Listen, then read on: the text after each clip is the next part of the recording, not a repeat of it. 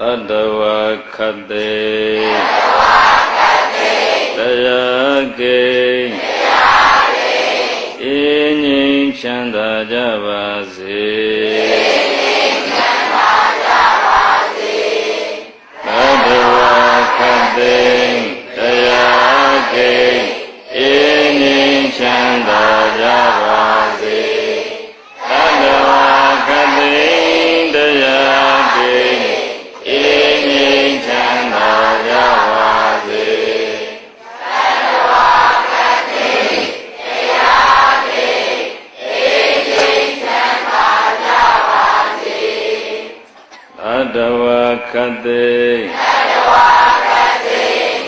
တ္တာကိမေတ္တာကိအင်းငြိမ်းချမ်းသာကြပါစေ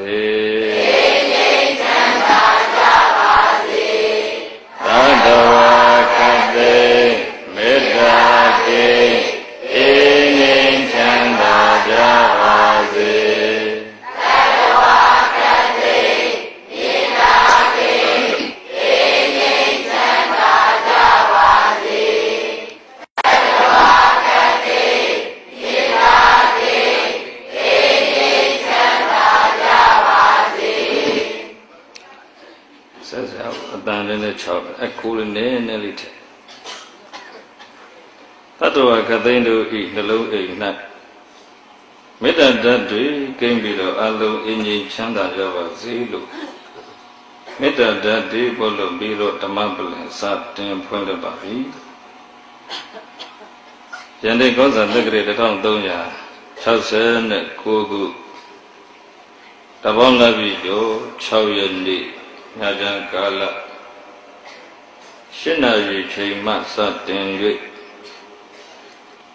မန္တလေးတိုင်းမြင်းကြံမြို့မြို့ဥစေယသိအာယုံကံတစောင်းတော်ကြီးရေဇက်ချအောင်ပွဲထိမ့်မှဖြစ်ဖြင့်ငါးညတိုင်တိုင်ဆင်ရင်ကျင့်ပအပ်သောဓမ္မသဘင်တဲ့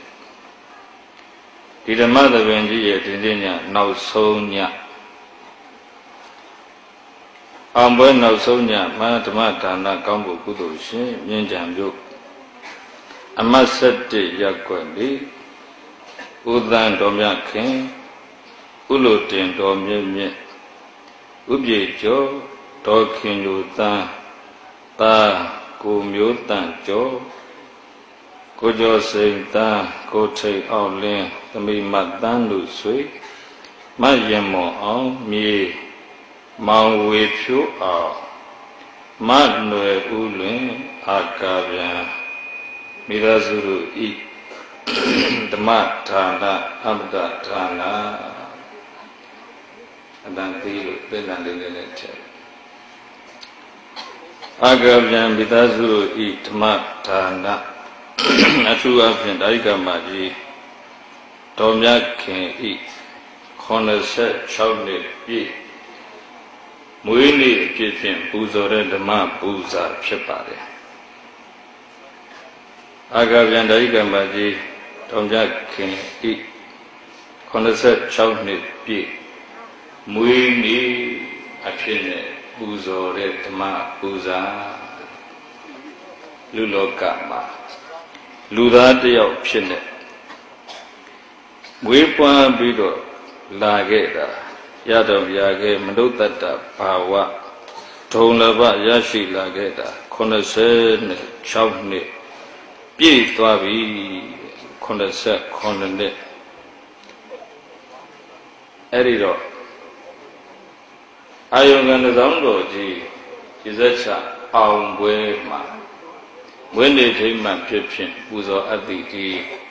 ဓမ္မပူဇာပွဲမှာဓမ္မဒါနကောင်းမှုကုသိုလ်ရှင်အာကာဗျံမိသားစုတို့နှင့်တကွယနေ့ညကြွရောက်လာကြသည့်အလုံးသောမြင့်ညံမျိုးကဆွေတော်မျိုးတော်အပေါင်းတို့အားဟောကြားခြင်းမြင်ပေးဖို့ရွေးချယ်လာခဲ့တဲ့တရားတရားကောင်းစဉ်လေးကတော့ဘဝအဓိပ္ပာယ်တွေ့အောင်ရှာ ပေးတဲ့ဒီလိုဗတ်တရားတဲ့ဒီတရားကိုဦးဇင်းတို့နောက်ပိုင်းမှာစာအုပ်ဖြစ်နေလည်းပဲရိုက်နေထုတ်ဝေဖို့ကြည်ဝချက်ရှိပါတယ်ညနေဖုံးတွေပါတယ်လည်းဆွဲထားပြီးသားပါစာအုပ်အဖြစ်နဲ့ရေးဖို့ကြည်ဝချက်ရှိတဲ့တရားတွေကိုဦးဇင်းတို့ဝီစီရီဖြစ်အောင်အရင်ဆုံးစီစဉ်ပြီးတော့ထားပါတယ်အဲ့ဒီဝီစီရီ ရှစ်ွယ်ကိုးွယ်လောက်ရိုက်ပြီးသွားတာမှာမြင်းကြံမျိုးကအမျိုးတွေနဲ့တခွေမှမဖြစ်သေးဘူးဆိုပြီးတော့အခုသီလမောင်မောင်တို့နဲ့ချိတ်ဆက်ပြီးတော့ဒါမြင်းကြံကအမျိုးတွေနဲ့ဝီစီဒီတခွေဖြစ်အောင်အခုစီစဉ်တာအဲ့တော့ဒီတရားကိုမွေးနေ့ကောင်းမှုကုသိုလ်ရှင်ဓာိကမ္မတိ တော်မြတ်ခင်နှင့်တကွာလူဘဝကိုရရှိလာကြသည်လူသားတိုင်းလူသားတိုင်းအလေးနဲ့ထားပြီးတော့စဉ်းစားဖို့စဉ်းစားစရာလေးတွေဒီတရားထဲမှာအများကြီးပါပါလိမ့်ဦးဇင်းတို့ဓမ္မပရိသတ်တို့ခုရရှိလာတဲ့လူဘဝဒီလူဘဝသည်ရဖို့လွယ်သလားခက်သလားဆိုရင်ပြိဿကြည့်လို့ဘယ်နဲ့ဖြစ် ဘေကဝေယဟန်တော်မြတ်အိုရှိတတို့ဘေကဝေသန္တရာပိလမြည်ရေးကိုမြောတွေးရှုညာအိုရှိတချတမိတို့လောကသမိန်လောကမှာမနုဿတ္တဘာဝတခြင်းတခါလူတို့ရွာတွင်မိကစင်စင်လူအဖြစ်လူဘဝဆိုတာမျိုးဟာဒုံလဘောကဘာများစွာလွန်လေးပါလေတခါတယံတွေ့ကျိန်ဖန်ဖို့အမှန်မုတ်ချခဲရင်လာပါပြီဤ လူဘဝရဖို့သိခက်တယ်လို့ဗုဒ္ဓမြတ်စွာဟောပါအဲရတော့ရခဲ့ရတာတဲ့လူဘဝမှာလူသားတိုင်းလူသားတိုင်းမဖြစ်မနေရှာဖွေရမှာဘဝအတိတ်ပဲလူငယ်များစွာဟာလေဘဝအတိတ်ပဲပျောက်ရှာနေကြတာတွေ့ပါတယ်ရခဲ့တဲ့လူဘဝရထားကြတာမှာ ဘဝရဲ့အတိတ်ပဲကိုလေးလေးနက်နက်မစင်စားမတွေးတော့ပဲနဲ့ဘဝကိုပေါ့ပေါ့လေးနေပြီးတော့အပျော်ပါးတွေနဲ့ဖြုံးတီးနေကြတာဟာဒါဘဝအတိတ်ပဲပျောက်နေလို့ဒါကြောင့်ဥစဉ်ဒီတရားကိုရွေးလိုက်ခြင်းဖြစ်ပါတယ်ဘဝအတိတ်ပဲတွေ့အောင်ရှာပေတကြီးတို့ဗာတရားတဲ့ဘဝအတိတ်ပဲတွေ့အောင်ရှာပါဗျာ အာစိရံဝတယံကာယောပထဝိအတိသင်တတိသောတောအပေတဝိညာနောနိရထံဝကလိင်္ဂရံအယံကာယောအလယတလနန္တထွန်32ကောဓာတသုမြဖြစ်တဲ့ဤခန္ဓာကိုယ်သည်အပေတဝိညာနော အတိဝိညာဉ်ကင်းသွားပြီဖြစ်ပြီသုတ်တော်သုတ်တန်တဇသင်္ញိုင်းဝမှာပြစ်လိုက်ကြရသည်ရှိတော်နိရထံဗာမအသုံးမကြတဲ့ကလင်္ကရံဤဝထင်တို့ထင်ပွဲကဲ့သို့အစေရမကြမြင့်မိပထဝိမြေကြီးပေါ်မှာအရိတတတိမုတ်ချကိန်းသည်လျောင်းဆက်ရပေလိမ့်မယ်လို့တတ္တနလိုရဆရာဘုရားရှင်ကိုရောမြတ်သည် ကထေတိကရုဏာရှိရှုဟောပြတော်မူခဲ့ပါပေတည်း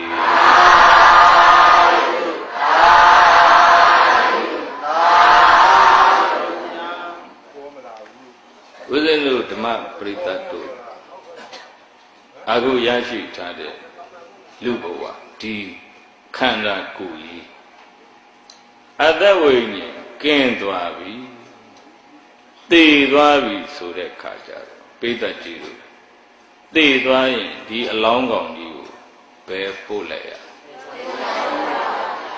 သောတောသုတ်တန်တဇသင်္ញံဝမှာပြစ်လိုက်ကြရသည်ရှိတော်စက်ကိုငြိမ်မကလေးနဲ့ဒီကန္နာကိုအသက်နဲ့ဝိညာဉ်နဲ့တွဲပြီးရှိနေတော့မှာတော့အဟုတ် ထင်ပြီးတော့အာယုံ၅ပါးထဲမှာတတ်တော်ရမိမျောပြီးတော့နေကြအေးကိုယ့်ကိုသိမယ်လို့မတွေးမိသေးခင်မှာသိလိုက်ကြရသိတော့ဒီခန္ဓာကြီးတုတ်တန်ပို့လိုက်ရတာပဲမှန်လားပြည့်စက်ကြီးဟိုတော့ကတော့မြေကြီးတဲ့မြုပ်တာဆိုတော့မြေကြီးနဲ့ရောသွားတာပေါ့အခုတော့ဒီခန္ဓာကြီး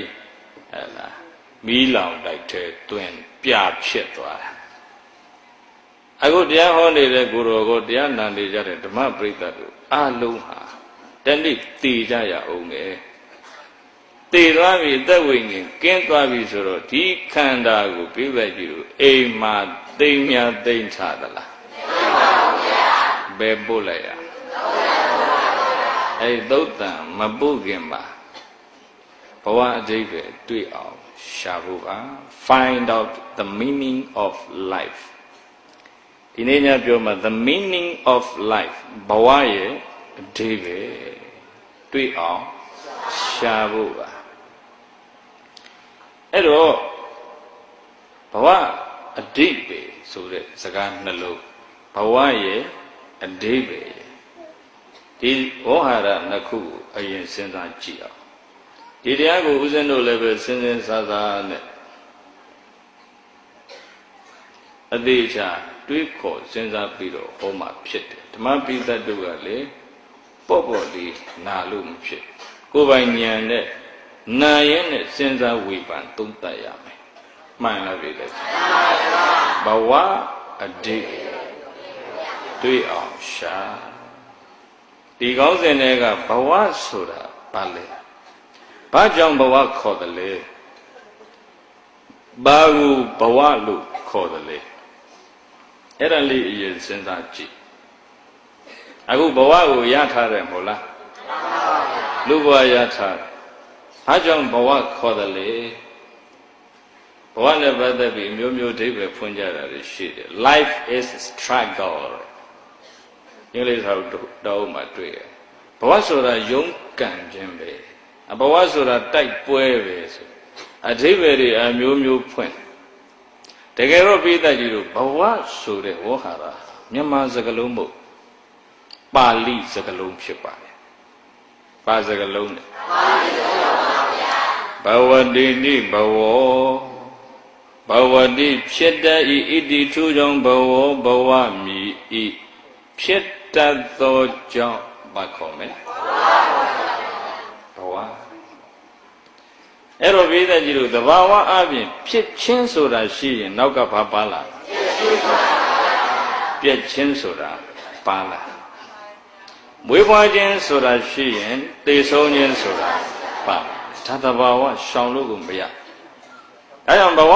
ဆိုတာဘာကြောင့်ဘဝခေါ်တယ်လဲဆိုရင် ဖြစ်တတ်ပြတ်တတ်သောကြောင့်ဘဝ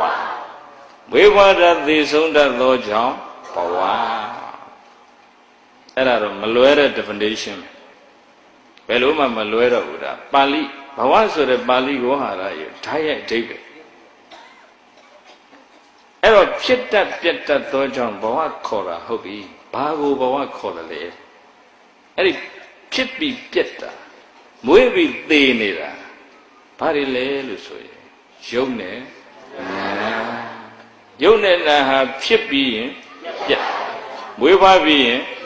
သိဆုံးအဲကြောင့်ယုံနဲ့နာကို ဖြစ်ပြီးပြတ်တတ်လို့မွေးဖွားပြီးတော့သိဆုံးတတ်လို့ဘဝခေါ်ပါတယ်ဖြစ်ပြီးပြတ်တတ်လို့မွေးဖွားပြီးသိဆုံးတတ်လို့ယုံနဲ့နာကိုဘာလို့ခေါ်ဘဝအဲ့တော့အခုဦးဇင်းတို့ဓမ္မပေဒတ်တို့လူဘဝရထားရဆိုတာလေလူယုတ်နဲ့လူနံပဲ ဟုတ်ပလားမှန်ပါဗျာခွေးဘဝရတာတော့ခွေးတွေကြည့်တယ်ခွေးယုတ်နဲ့ခွေးနံပဲတရိษံတွေတယ်ယုတ်နဲ့နံပဲနတ်ဘဝဆိုတာလဲကြည့်နတ်ယုတ်နဲ့နတ်နံပဲမြမဘဝလဲကြည့်ယုတ်နဲ့နံပဲရှိတာပဲ30ဘုံလုံးအကုန်ရှာကြည့်ဘဝမှန်သမျှခွဲစိတ်ကြည့်ရင်ဘာနဲ့ပါပဲတွေ့အဲ့ဒီယုံနဲ့နံဟာဖြစ်ပြီးပြတ်တတ်လို့မွေးပြီးသေတတ်လို့ဘာခေါ်လဲ ဘဝဆိုတဲ့ဝဟာရရဲ့အဓိပ္ပာယ်ကိုနားလည်ပြီနော်ဒါဖြင့်အဓိပ္ပာယ်ဆိုတာဘာလဲ meaning ဆိုတဲ့စကားလုံးကိုအင်္ဂလိပ်စကားလုံးကိုအဓိပ္ပာယ်ဆိုလိုချက်လို့မြန်မာပြန်ကြတယ်ဟုတ်လားလေအဲအဓိပ္ပာယ်ဆိုတာဘာလဲအဓိပ္ပာယ်ဆိုလေအမှန်တော့ပြည့်တဲ့ဒီမြန်မာစကားလုံးပုံအဓိပ္ပါယဆိုတဲ့ပါဠိကနေဆင်းသက်လာတာ အဓိပိယတိတိအဓိပ္ပါယောအဓိပိယတိအလိုရှိအပ်၏ဣတိထိုကြောင့်ဒိဗ္ဗာယောဒိဗ္ဗေခေါ်တယ်အလိုရှိအပ်သောကြောင့်ပါခေါ်လိုက်ဒိဗ္ဗေအဲ့တော့တဲ့တဲ့ပြောရင်အဓိပ္ပာယ်ဆိုတာလိုအပ်ချက်ကိုပြောတာအဓိပ္ပာယ်ဆိုတာလိုအပ်ချက်ကိုပြောတာအင်္ဂလိပ်လို့ဆိုရင် need n e e d need ဆိုတာ အဲ့ဒါလိုအပ်ချက်အဲ့တော့ဘဝအဓိပ္ပာယ်ဆိုတာဘဝရဲ့လိုအပ်ချက်ဟုတ်လားပြည့်တယ်အဓိပ္ပာယ်ဆိုတဲ့စကားလုံးက need လိုအပ်ချက် not want လိုချင်တာမဟုတ် W A N T want ဆိုတာကလိုချင်တာပြည့်တဲ့ကြီးတို့လိုချင်တာနဲ့လိုအပ်တာတူရဲ့လားမတူဘူးပြည့်တယ်လိုချင်တာကတော့အများကြီး တိုက်လိုချင်တယ်ကားလိုချင်တယ်ဂုံလိုချင်တယ်ငွေလိုချင်တယ်ရွှေလိုချင်တယ်ဟုတ်ပလားပြည့်တဲ့လိုချင်တာတော့မဆုံးဘူးလိုချင်တာနောက်လိုက်ရင်ပြည့်တဲ့ကြီးဆုံးမှာဆုံးပါဗျာလိုချင်တာကလောဘနဲ့ပတ်သက်ပါတယ်လိုအပ်တာကိုစဉ်းစားတဲ့အခါမှာဉာဏ်ပညာနဲ့ပတ်သက်သွားတယ်လိုအပ်တာကိုစဉ်းစားရင်ဘာနဲ့ပတ်သက်ဉာဏ်ပညာနဲ့ပတ်သက်ပါဗျာ အေးအဲ့တော့ W A N T want လိုချင်တယ်ဆိုတာကလောဘဥစည်းတယ် N E E D need လိုအပ်ချက်ကိုစဉ်းစားမယ်ဆိုရင်ဉာဏ်ပညာဥစည်းတယ်ဒီနှစ်ခုကမတူဘူးမှန်လားပြီလေအေးအဲ့တော့ဘဝအဓိပ္ပာယ်တွေ့အောင်ရှာဆိုတာဘဝရဲ့တကယ်လိုအပ်ချက်ကိုဉာဏ်နဲ့ရှာဖို့ပါဘဝရဲ့လိုအပ်ချက်ကိုဘာနဲ့ရှာ အေးအဲ့တော့ဘဝဆိုတဲ့စကားလုံးလည်းနားလည်ကြပါပြီ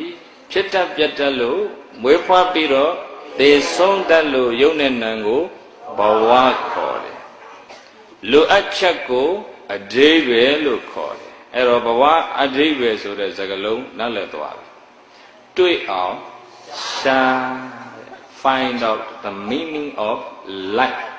what is the meaning of life ဘဝရဲ့အဓိပ္ပာယ်ဟာဘာလဲ ဘဝရဲ့တကယ်လိုအပ်ချက်ကဘာလဲလို့စဉ်းစားကြည့်ဖို့မြင့်ဉာဏ်ကအမျိုးတွေနဲ့အတူတကွစဉ်းစားကြည့်ဘဝရဲ့တကယ်လိုအပ်ချက်ကဘာလဲအဲ့တော့ယုံနဲ့နံဆိုတဲ့ဒီလူဘဝ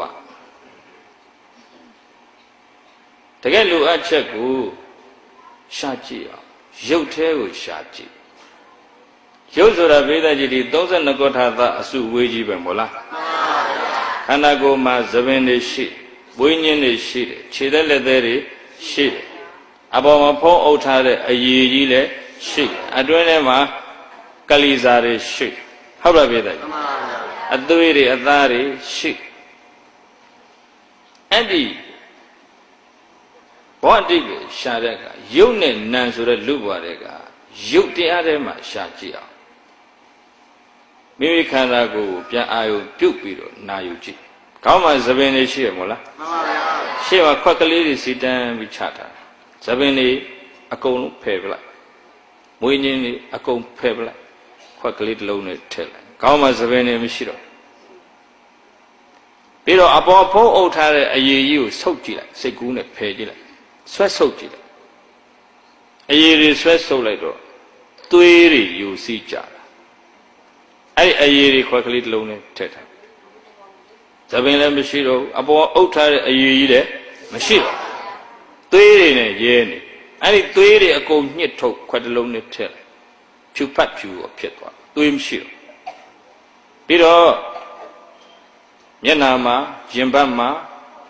တင်ပါမှာပေါင်မှာခြေစုံးမှာကြွက်သားတွေရှိအေးအဲ့ကြွက်သားတွေကိုတခါစိတ်ကူးနဲ့ဖယ်ထုတ်ကြည့် ဖယ်ထုတ်ကြည့်လိုက်ခွဲတစ်လုံးနဲ့ထက်လိုက်ကောင်းမှလည်းသပင်မရှိတော့အပေါ်မှာအုပ်ထားတဲ့အရည်ကြီးလည်းမရှိတော့ရဲနေတဲ့သွေးတွေလည်းညှစ်ထုတ်လိုက်မရှိတော့အသားတွေလည်းဖယ်ထုတ်ပြစ်လိုက်အထဲထဲကကလီစာတွေတခါဖယ်ထုတ်ခွက်တစ်လုံးနဲ့ထက်အဲ့တော့မတ်တက်ကြီးအယိုးရောက်ကြီးပဲကြံတော့ဟုတ်လားပြည်တယ်မြင်ရလားပြည်တယ်အဲ့ဒီအခြေအနေမှာ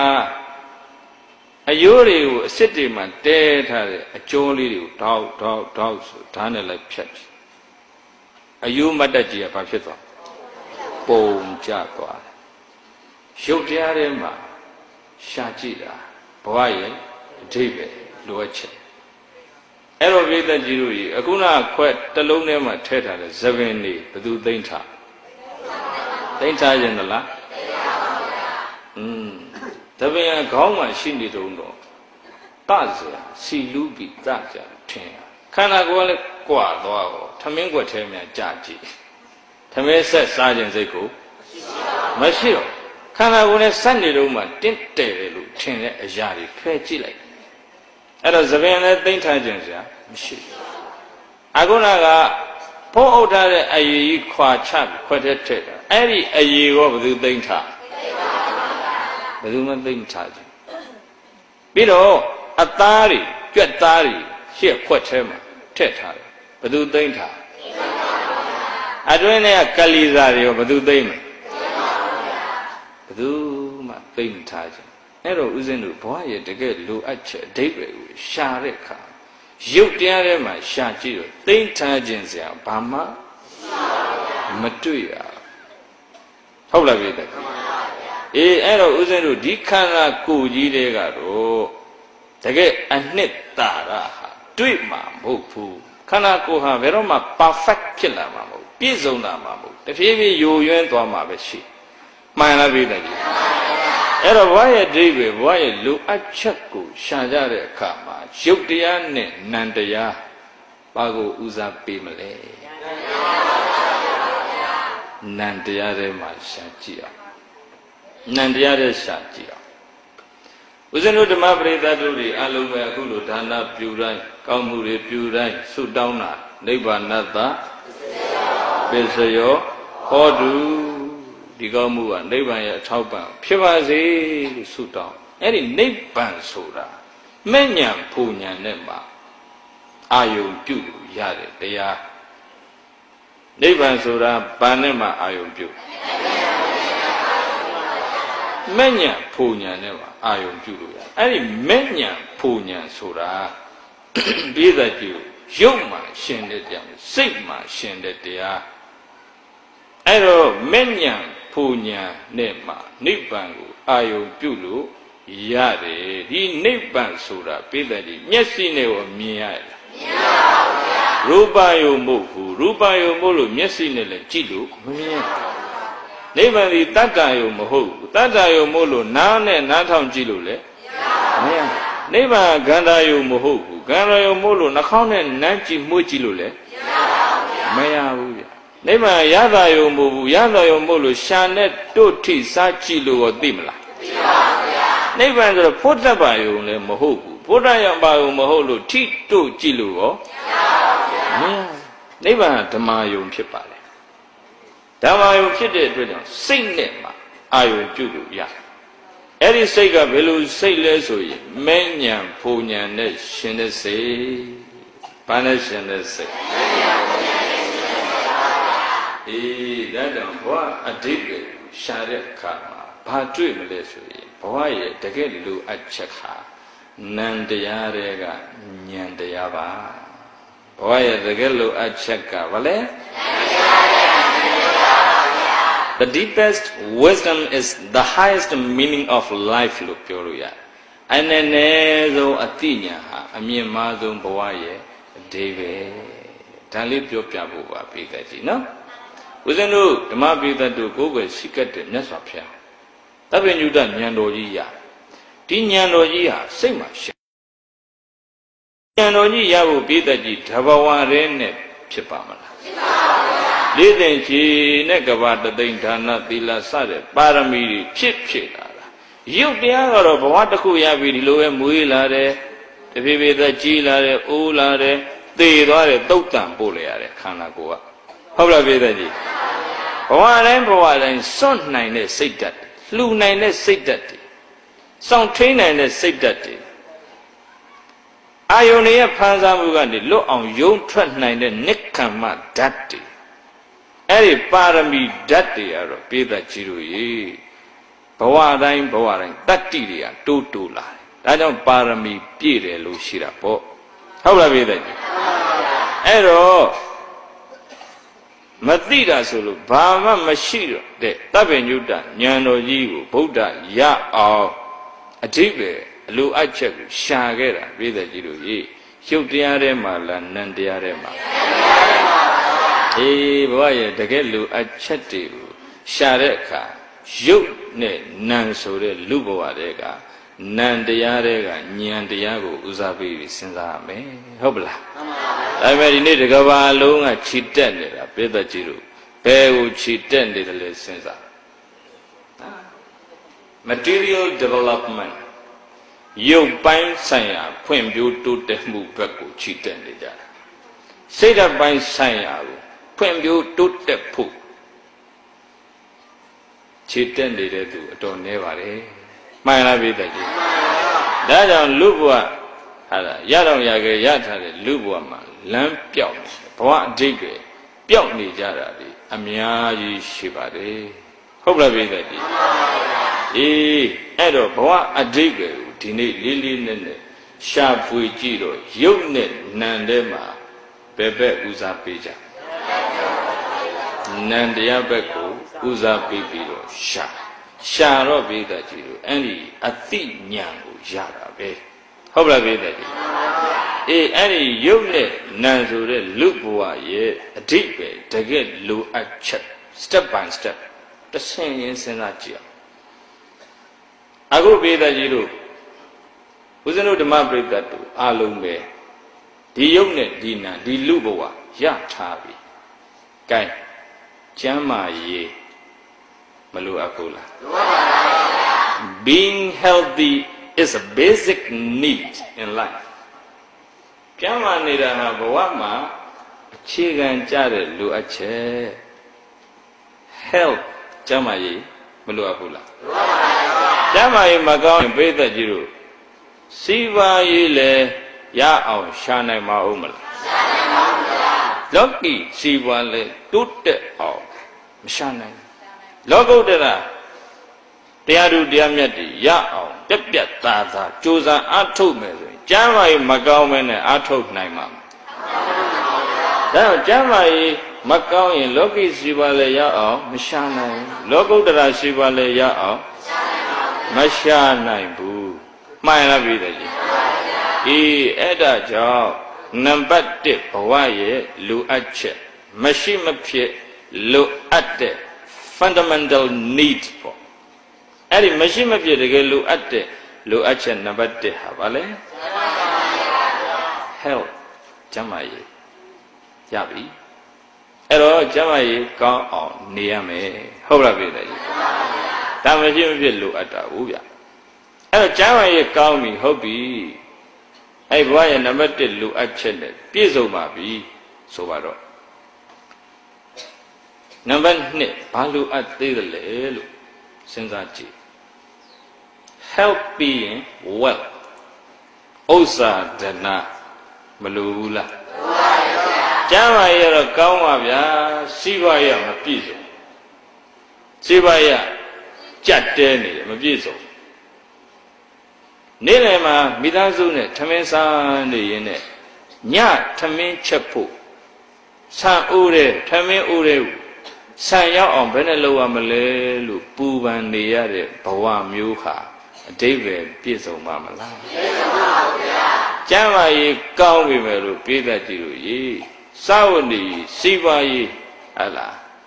ဥစ္စာဒဏချုပ်တဲ့နေရင်လည်းဘဝအတိတ်ပဲမပြည့်စုံဘူးဟုတ်လားပြေးတတ်ကြည့်အဲတော့ကျမ်းမာရေးအပြင်စီးပွားရေးဟာလည်းအရေးတကြီးမလိုအပ်ဘူးလားလိုအပ်တယ် အေးတနေ့စာတတိစားဖို့စိုက်ကားနင်းပြီးကုန်းကြုံရှာပြီးမှတခါလေနေ့စဉ်ဘဝဖြည့်ရှင်းကြရစာဖို့နေရေးအဲ့ဒါလောက်ထိပေးတဲ့ကြည့်စီးပွားရေးကြက်တဲနှိမ့်ကြသွားမှတော့စာဝတ်နေရေးလေမနှိမ့်ဘူးလားနှိမ့်ပါဗျာစီးပွားရေးကြသွားရင်စာဝတ်နေရေးလေနှိမ့်ကြသွားတာပဲ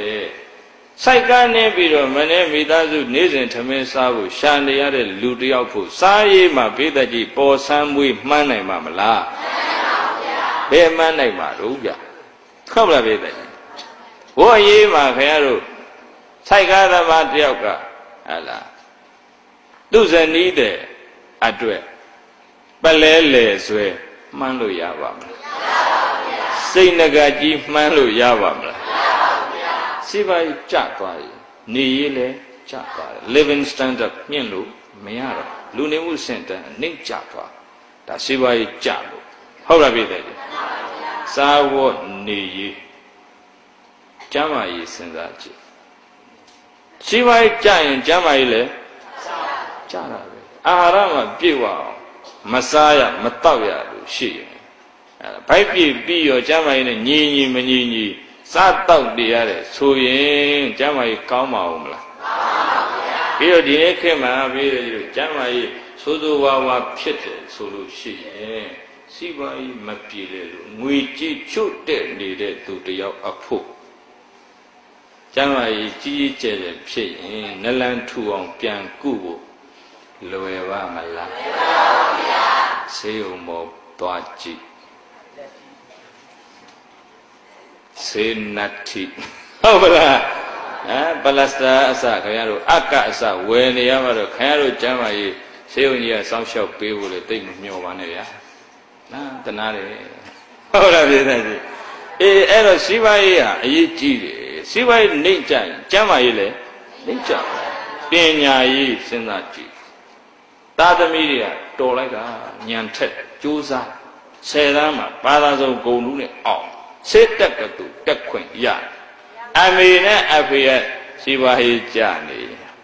စစ်တက်ကတူပို့နိုင်မှာမလားပို့နိုင်ပါဘူးဗျာအဲစီပွားရေးကြရင်သားသမီးတွေရဲ့ပညာရေးလေကြပါဗျာနှိမ်ကျသွားတယ်မှန်လားပြည်တဲ့ချီမှန်ပါဗျာဒီဘာသာရေးစဉ်းစားကြည့်စီးပွားရေးကြိုက်ဘာသာရေးလဲကြတာကြတာပဲဖြစ်တဲ့ကြည့်ဥပမာအဲအခုဒီမှာ တစောင်းတော်ကြီးဒါဝိုင်းဝန်းပြီးတော့စုပေါင်းပြီးတော့ဆောက်လို့လှူဒန်းလိုက်ကြတာအခုလိုဓမ္မသတင်ပွဲကြီးတွေကျင့်ပဖို့ပေါ့အများသူကချမ်းချမ်းသာသာဘာသာရေးကိစ္စကုသိုလ်တရားတွေပွားနိုင်ဖို့ဆောင်ရွက်နိုင်ဖို့အဲ့ဒါစီးပွားရေးမပြေလည်ရင်ခင်ဗျားတို့ဒီလိုသာသနာအဆောက်အဦကြီးကိုဆောက်နိုင်ပါမလားစိတ်နှလုံးထဲကတော့တရားတရားရှိတယ်အကြောင်းကြီးတစ်ဆောင်ဆောက်လူကျင်လိုက်တာ ဩရိတ်တာတစ်ခုခုမှတီထောင်နေအင်းလူအပ်တယ်ဩစာတင်တိုက်တစ်ခုခုမှတီထောင်နေကိုတော်လေးဒီတစ်ပင်အောက်မှာစာတက်နေရနေစရာမရှိဘူးကြောင်းကြီးတစ်ဆောင်လောက်ဆောက်လှူရင်လိုက်တာတရားတရားကနှလုံးသားထဲမှာပေါ်ပါရဲ့သို့တော်စီးပွားရေးမပြေလေရင်ကျောင်းတဆောင်ကိုဆောက်လှူနိုင်မမလားမနိုင်ပါဘူးဗျာဒါကြောင့်ပြည်သက်ကြီးတို့စီးပွားရေးကြရင်ဘာသာရေးလဲ ကြသွားတယ်နောက်တန်းရောက်သွားတယ်စီးပွားရေးကြရင်စာရိတ္တမန္တိုင်လဲရိုင်နဲ့လာပါလေမှန်လားပြည်သက်ကြီးတို့အေးတကယ်ငတ်ပြီးတော့တကယ်ပြတ်ကြည့်လူတွေတတ်စားလာလိမ့်မယ်တကယ်ငတ်ပြီးတကယ်ပြတ်ကြည့်လူတွေလူစားလာလိမ့်မယ်လင်းစားလာလိမ့်မယ်ညာစားလာလိမ့်မယ်ဗျ ဒီပါကြရင်စာရိတ္တမန်တိုင်နဲ့လည်းဘာဖြစ်အေးဒီနေ့အမိမြန်မာနိုင်ငံကြီးစီးပွားရေးကြသလားတက်သလားတော့ကျုပ်တို့ပြောဖို့မလိုပါဘူးသတင်းစာဖတ်ကြည့်ပေါ့ဟုတ်လားခင်ဗျာကြီးဒါတော့ခင်ဗျားတို့သိပြီးတော့ကျုပ်တို့အထူးပြောကြမလို့တက်သွားတာပဲမြင်နေပါလေဗျာတရားတော်မကြီးနေ့စဉ်ရုပ်ခံရှာဖွေပြီးကုံစင်းနှုံးတော့မောဟိုက်နေအောင်လိုက်နေတယ်မကြည့်ရလို့မေတ္တာပဲပို့နိုင်ပါတယ်ဗျာ ဟုတ်လားပြည်သားကြီးမှန်ပါဗျာအေးဒါကြောင့် being wealthy is a basic need in life အဝမှာစီးပွားရေးပြည့်စုံတာဟာအခြေခံကြတဲ့လိုအပ်ချက်မှန်လားပြည်သားကြီးအဲ့ဒီကျမ်းမာရေးနဲ့စီးပွားရေးဒီနှစ်ခုဒါဟာ foundation ပဲခြေခံအုတ်မြစ်ပဲမှန်လားပြည်သက်ကြီး ကြံတဲ့အရေးပေါင်းများစွာစီးပွားရေးပေါ်မှီနေရတယ်နော်ဟုတ်လားပြည်သက်ကြီးသာဝနေလည်းစီးပွားရေးပေါ်မှီနေရတယ်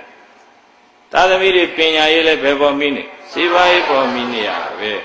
ကျမ်းမာရေးလည်းစီးပွားရေးပေါ်မီနေရတာပဲဘာသာရေးလည်းစီးပွားရေးပေါ်မီနေရတာပဲအဲစီးပွားရေးကဘယ်ပေါ်မီတယ်လဲလို့စဉ်းစားကိုယ်ဉာဏ်နဲ့ကိုယ်စဉ်းစားကြဟုတ်မလား ကျိုးတို့ဉာဏ်မမီဘူးထင်တာပါဗျာဘာတွေပြောင်းလဲမှစီးပွားရေးတိုးတက်လာမလဲတော့မပြောတာဘူးကျိုးစီးပွားရေးပညာရှင်လည်းမဟုတ်နိုင်ငံရေးဒုက္ခမရလည်းမဟုတ်တော့မပြောတတ်ပါဘူးမပြောတတ်တာမပြောတာကောင်းပါဟုတ်လားပြည်သားကြီးကဲအဲ့ဒါတော့အရေးကြီးတဲ့စီးပွားရေးဒီနေ့ဓမ္မစီးပွားရေးမှာရှေ့တန်းဥဆောင်နေတာမြန်မာတွေဟုတ်ရလားလို့စဉ်းစားဖို့ဥပမာရာဥဒိယမန္တလေးဈေးချိုတော်ကြီး ဈေးချိုပိုက်ချတယ်မှာဟလာအဲကုံမာဆိုင်နေတိုက်တလုံးဆောက်မယ်ဘီလံနေလိုမယ်တွတ်လိုမယ်ပေါ့တံပင်နေလိုမယ်ပေါ့ဟုတ်ပါပြီတဲ့ကြီးအဲကုံမာပစ္စည်းဝယ်တော့အဲဆိုရင်ဈေးချိုပတ်ချတယ်ဗမာဆိုင်အတော်ရှားနေတယ်ဒီတဲ့ကြီးဘသူတွေများနေတယ်ထင်တယ်ဘသူတွေများနေတော့อืม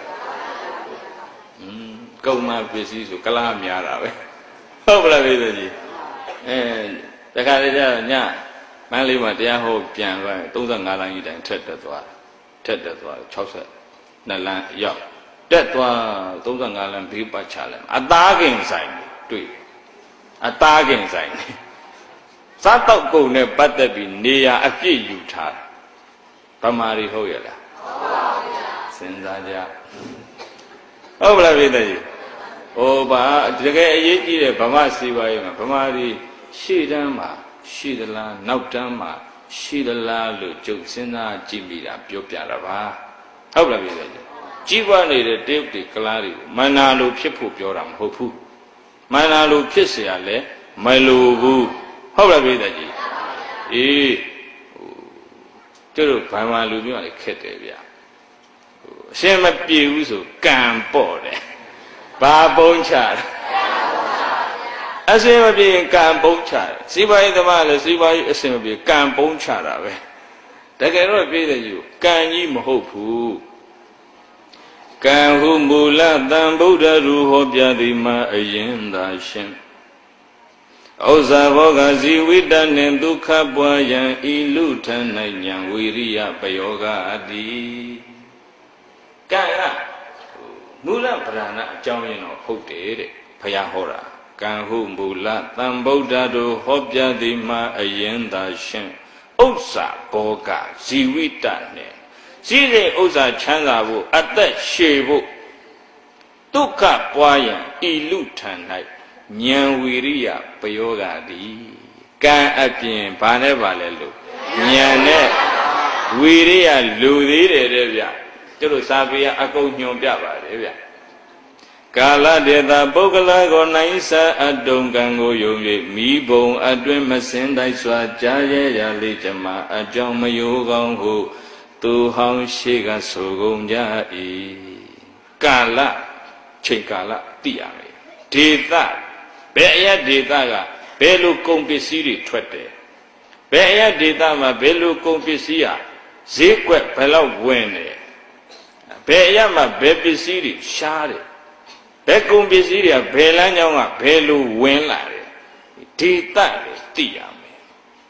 ကာလသိရမယ်ပုဂ္ဂလဘယ်လိုပုဂ္ဂိုလ်နဲ့ပေါင်းရမလဲစီမဖြစ်ခြင်းငါဘယ်လိုလူနဲ့ပေါင်းရမလဲလို့စဉ်းစားရတယ်တဲ့ဟုတ်လားပေတဲ့ကြီးမှန်ပါဗျာ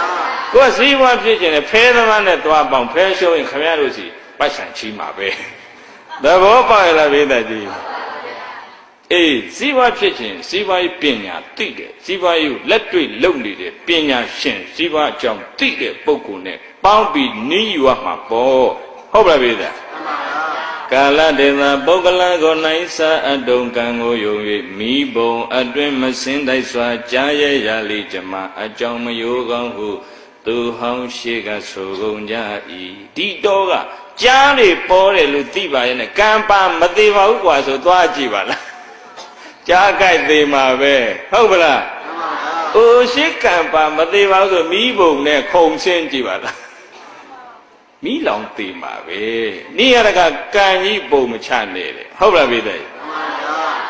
လောလမထုံညာမကူပဲအယူတချောင်းကံတကြောင်မြမကောင်းလေကံကောင်းလေကံဟုကံကိုကြီးသာမကူရဘူး မကောင်းလေကံကောင်းလေကံကံကြီးအာကိုမနေတဲ့တဲ့ဟုတ်လားဘေးသားကြီးကံကိုကြီးသာမကူရဘူးပညာဉာဏ်ဖြင့်သင်မသိကိုအခွင့်ရှု၍အပြုလုံးလားရှိအစသည်ပညာဉာဏ်တဲ့အချိန်လေးချိန်ခါအခွင့်အလန်းကိုကြည်နေရတယ်တဲ့ကြည်နေအခွင့်အလန်းမိတာနဲ့ဝိရိယလက်နဲ့မလွတ်တမ်းဖမ်းပြီးဆုံးနိုင်မှဒီနေ့ခေတ်ကြီးပွားမယ် ဟုတ်ပါလားဘေးသားကြီးပညာဉာဏ်ဖြင့်သင်မသိကိုအခွင့်ရှု၍အပြုလုံးလားရှိအစွာဒီတန်ခါလက်တွင်ရောက်လင်းတုံညာသုံးကောင်ငါကိုမှတ်သားဝန္တေဒီယူဆွဲလောဒီပါနောက်တန်းရောက်နေတဲ့ကျုပ်တို့ဗမာတွေအတွက်ကျမ်းဂန်ရှာဖွေပြီးတော့ဟာလာဒီမှာနီးပေးခဲ့မယ်တန်ငါလက်တွင်ရောက်လင်းတုံညာသုံးကောင်ငါ မှတ်သားဝမ်းတဲ့နီးယူဆွဲတယ်ကြီးပွားရင်ငါသုံးကောင်ဥပမာရှိပါတယ်တန်ငါတဲ့တယောက်ဟာလေရင်လောပြီးငါမြားတယ်တန်ငါတဲ့ဘာလို့ငါးရကောင်ရလီဝမ်းပိုက်တဲ့ထက်အဲ့ငါငါတဲ့တခါရှင်နဲ့ဆက်လောငါးရကောင်ရလီဝမ်းပိုက်တဲ့ထက်ဆက်လောပြီးဆက်မြား နောက်တော့ငါးရကောင်ရလီဝမ်းပိုက်တဲ့ထက်ငါဘယ်နှကောင်ရှိပထမဆုံးငါကံငါတဲ့ကံငါတဲ့ကံငါကကံပါလွတ်လိမ့်မပေါ့ဆိုမယုံဘူးအေးပြေးတဲ့ကံငါဘာလို့လဲဒုတိယငါဝီရိယငါတဲ့ညံမပါဘူးကွာခုံတယ်လေလွတ်ချင်လို့ လေဝမ်းပိုက်တဲ့ကနေပြီးတော့လွတ်ချင်လို့ခုံတာဒါပေမဲ့လေပေါင်ကမြင့်တယ်မြင့်နေတော့လွတ်ရလားမလုံးဒီထက်ပြန်ကြတယ်ကံငါတော့ဘာလို့အိတ်ဟုတ်လားပြေးဝီရိယငါညာမပေါ့ရမ်းခုံနေလွတ်ရလားလွတ်ပါဘူးဗျာကံညာဝီရိယစုံနဲ့တတ္တရာငါကြည့်နေခြေနေကြည့်ဟိုကောင်အိတ်နေတယ်ဟိုကောင်ပလိုင်းနဲ့ရောက်မဲ့ကောင်နဲ့သူအခွင့်လန်းကြည့်နေတာ ဟိုကောင်လည်းရမ်းခုံနေတာမလွတ်ဘူးတဲ့လေပေါင်နဲ့ငါတော့ရမ်းခုံလို့မဖြစ်ဘူးတဲ့ကံညာဝိရိယစုံနဲ့တတ္တရာငါအခြေနေကြည့်အဲ့မှာတန်ခါတဲ့လေလောလောပြီးတော့ရှေ့ဆက်ငါးမြားတာပါလေအားဆိုင်ပြီးလောလိုက်ရင်ဘေးတဲ့ကြီးလေပေါင်ကနေနေမလို့ဘူးလားအဲ့အခွင့်ကိုစောင့်တတိယငါအဲ့လေပေါင်ကလည်းနေနဲ့အနေမှာသူအားကုန်ထက်ခုံမှသူလွတ်မှာဟုတ် အဲ့မှာတန်ခါတဲ့အားဆိုင်ပြီးရှေ့နားကိုလေရွှေ့ကိုတိုးလေလောလိုက်နေနဲ့အနေမှာတအားခုံချရတာအဲ့မှာလွတ်သွားပါရောဗျာဘာစုံလို့ဒါဥပမာပြောတာသဘောပေါက်ရလားမသိသူတို့ဗမာတွေကံငါလို့လဲအိတ်မနေကြနဲ့ဟုတ်လားပြည့်တဲ့ကြီးဝီရိယငါလို့လဲညံမပါပဲရမ်းခုံမနေကြနဲ့အရင်ပြုတ်မယ် ဟုတ်လားပြည့်တဲ့ကြီးတန်ခါလက်တွဲရောက်လင်းတုံညာသုံးကောင်ငါကိုမတ်သန်းဝန္တနီယူဆွဲလို့ကံမွဲညံနှုံမလုံးမလနတ်မမာဘူးကံလည်းမွေးသေးညံလည်းနှုံသေးလုံးလာဝိရိယလည်းမရှိဘူးဆိုနတ်မမာဘူးတဲ့နတ်မမှာခင်ဗျားတို့စောင့်မနေနဲ့မေတော်ကြီးလည်းသွားပူဇော်မနေနဲ့ခင်ဗျားတို့ကိုယ်တိုင်က ဝိရိယမဆိုင်ဉာဏ်ပညာမသုံးဘူးဆိုလို့တော့ခင်ဗျားတို့ဘယ်နတ်မှမမနိုင်ဘူးဟုတ်လားပြည်သူကြီးကံမွဲညံနှုံမလုံးမလနတ်မမာဘူးအလတ်သာမျိုးအကျိုးယွင်ယူအလိုရောကြီးမကြော်ကြီးနှင့်ကိုလီလုံးလနလီမ၍တောင်းတကြံရမြမကြလျင်လွယ်ကားကိစ္စပြီးနိုင်ကြ၏ကံအပြင်ညံတဲ့ဝိရိယပါမ လိုရကိစ္စပြီးမယ်တဲ့ဒါဗမာလူမျိုးကမပြေလည်ရင်ကံပုံပုံချနေလို့ပြောနေရတာဟုတ်ပါလားဘေးသားကြီးဒီနေ့ခေတ်ကြီးက IT ခေတ်မို့လားညံတဲ့ဝီရိယတိတ်လိုတာပဒီပါဖြစ်ချင်ခင်ဗျားတို့ IT ခေတ်မှာ I နဲ့ T ကိုအရေးမဆိုင်လို့ဖြစ်ကုန်ဖြစ် I ဆိုတာက information the day ဟုတ်လားဗျာကြီး T ဆိုတာက technology နီးပညာတရင်နဲ့နီးပညာခေတ်ကြီးမှာခင်ဗျားတို့ဟလာတခါတည်းတရင်နာဆင်တာကိုအခြေဖြုံးတယ်လို့ပြောတဲ့လူတွေကရှိသေးတယ်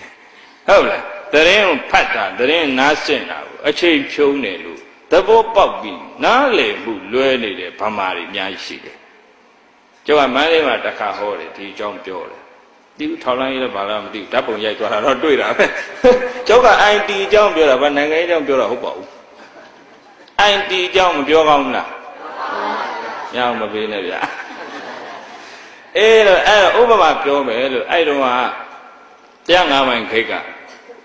ပြဿနာဖြစ်လို့ customer တွေဆွဲထားတယ်ကုတ်ထားတယ်ဟုတ်လားအကောက်ကအရာရှိတွေပါလေကုတ်ထားတဲ့အခြေအဲ့တော့ကျတို့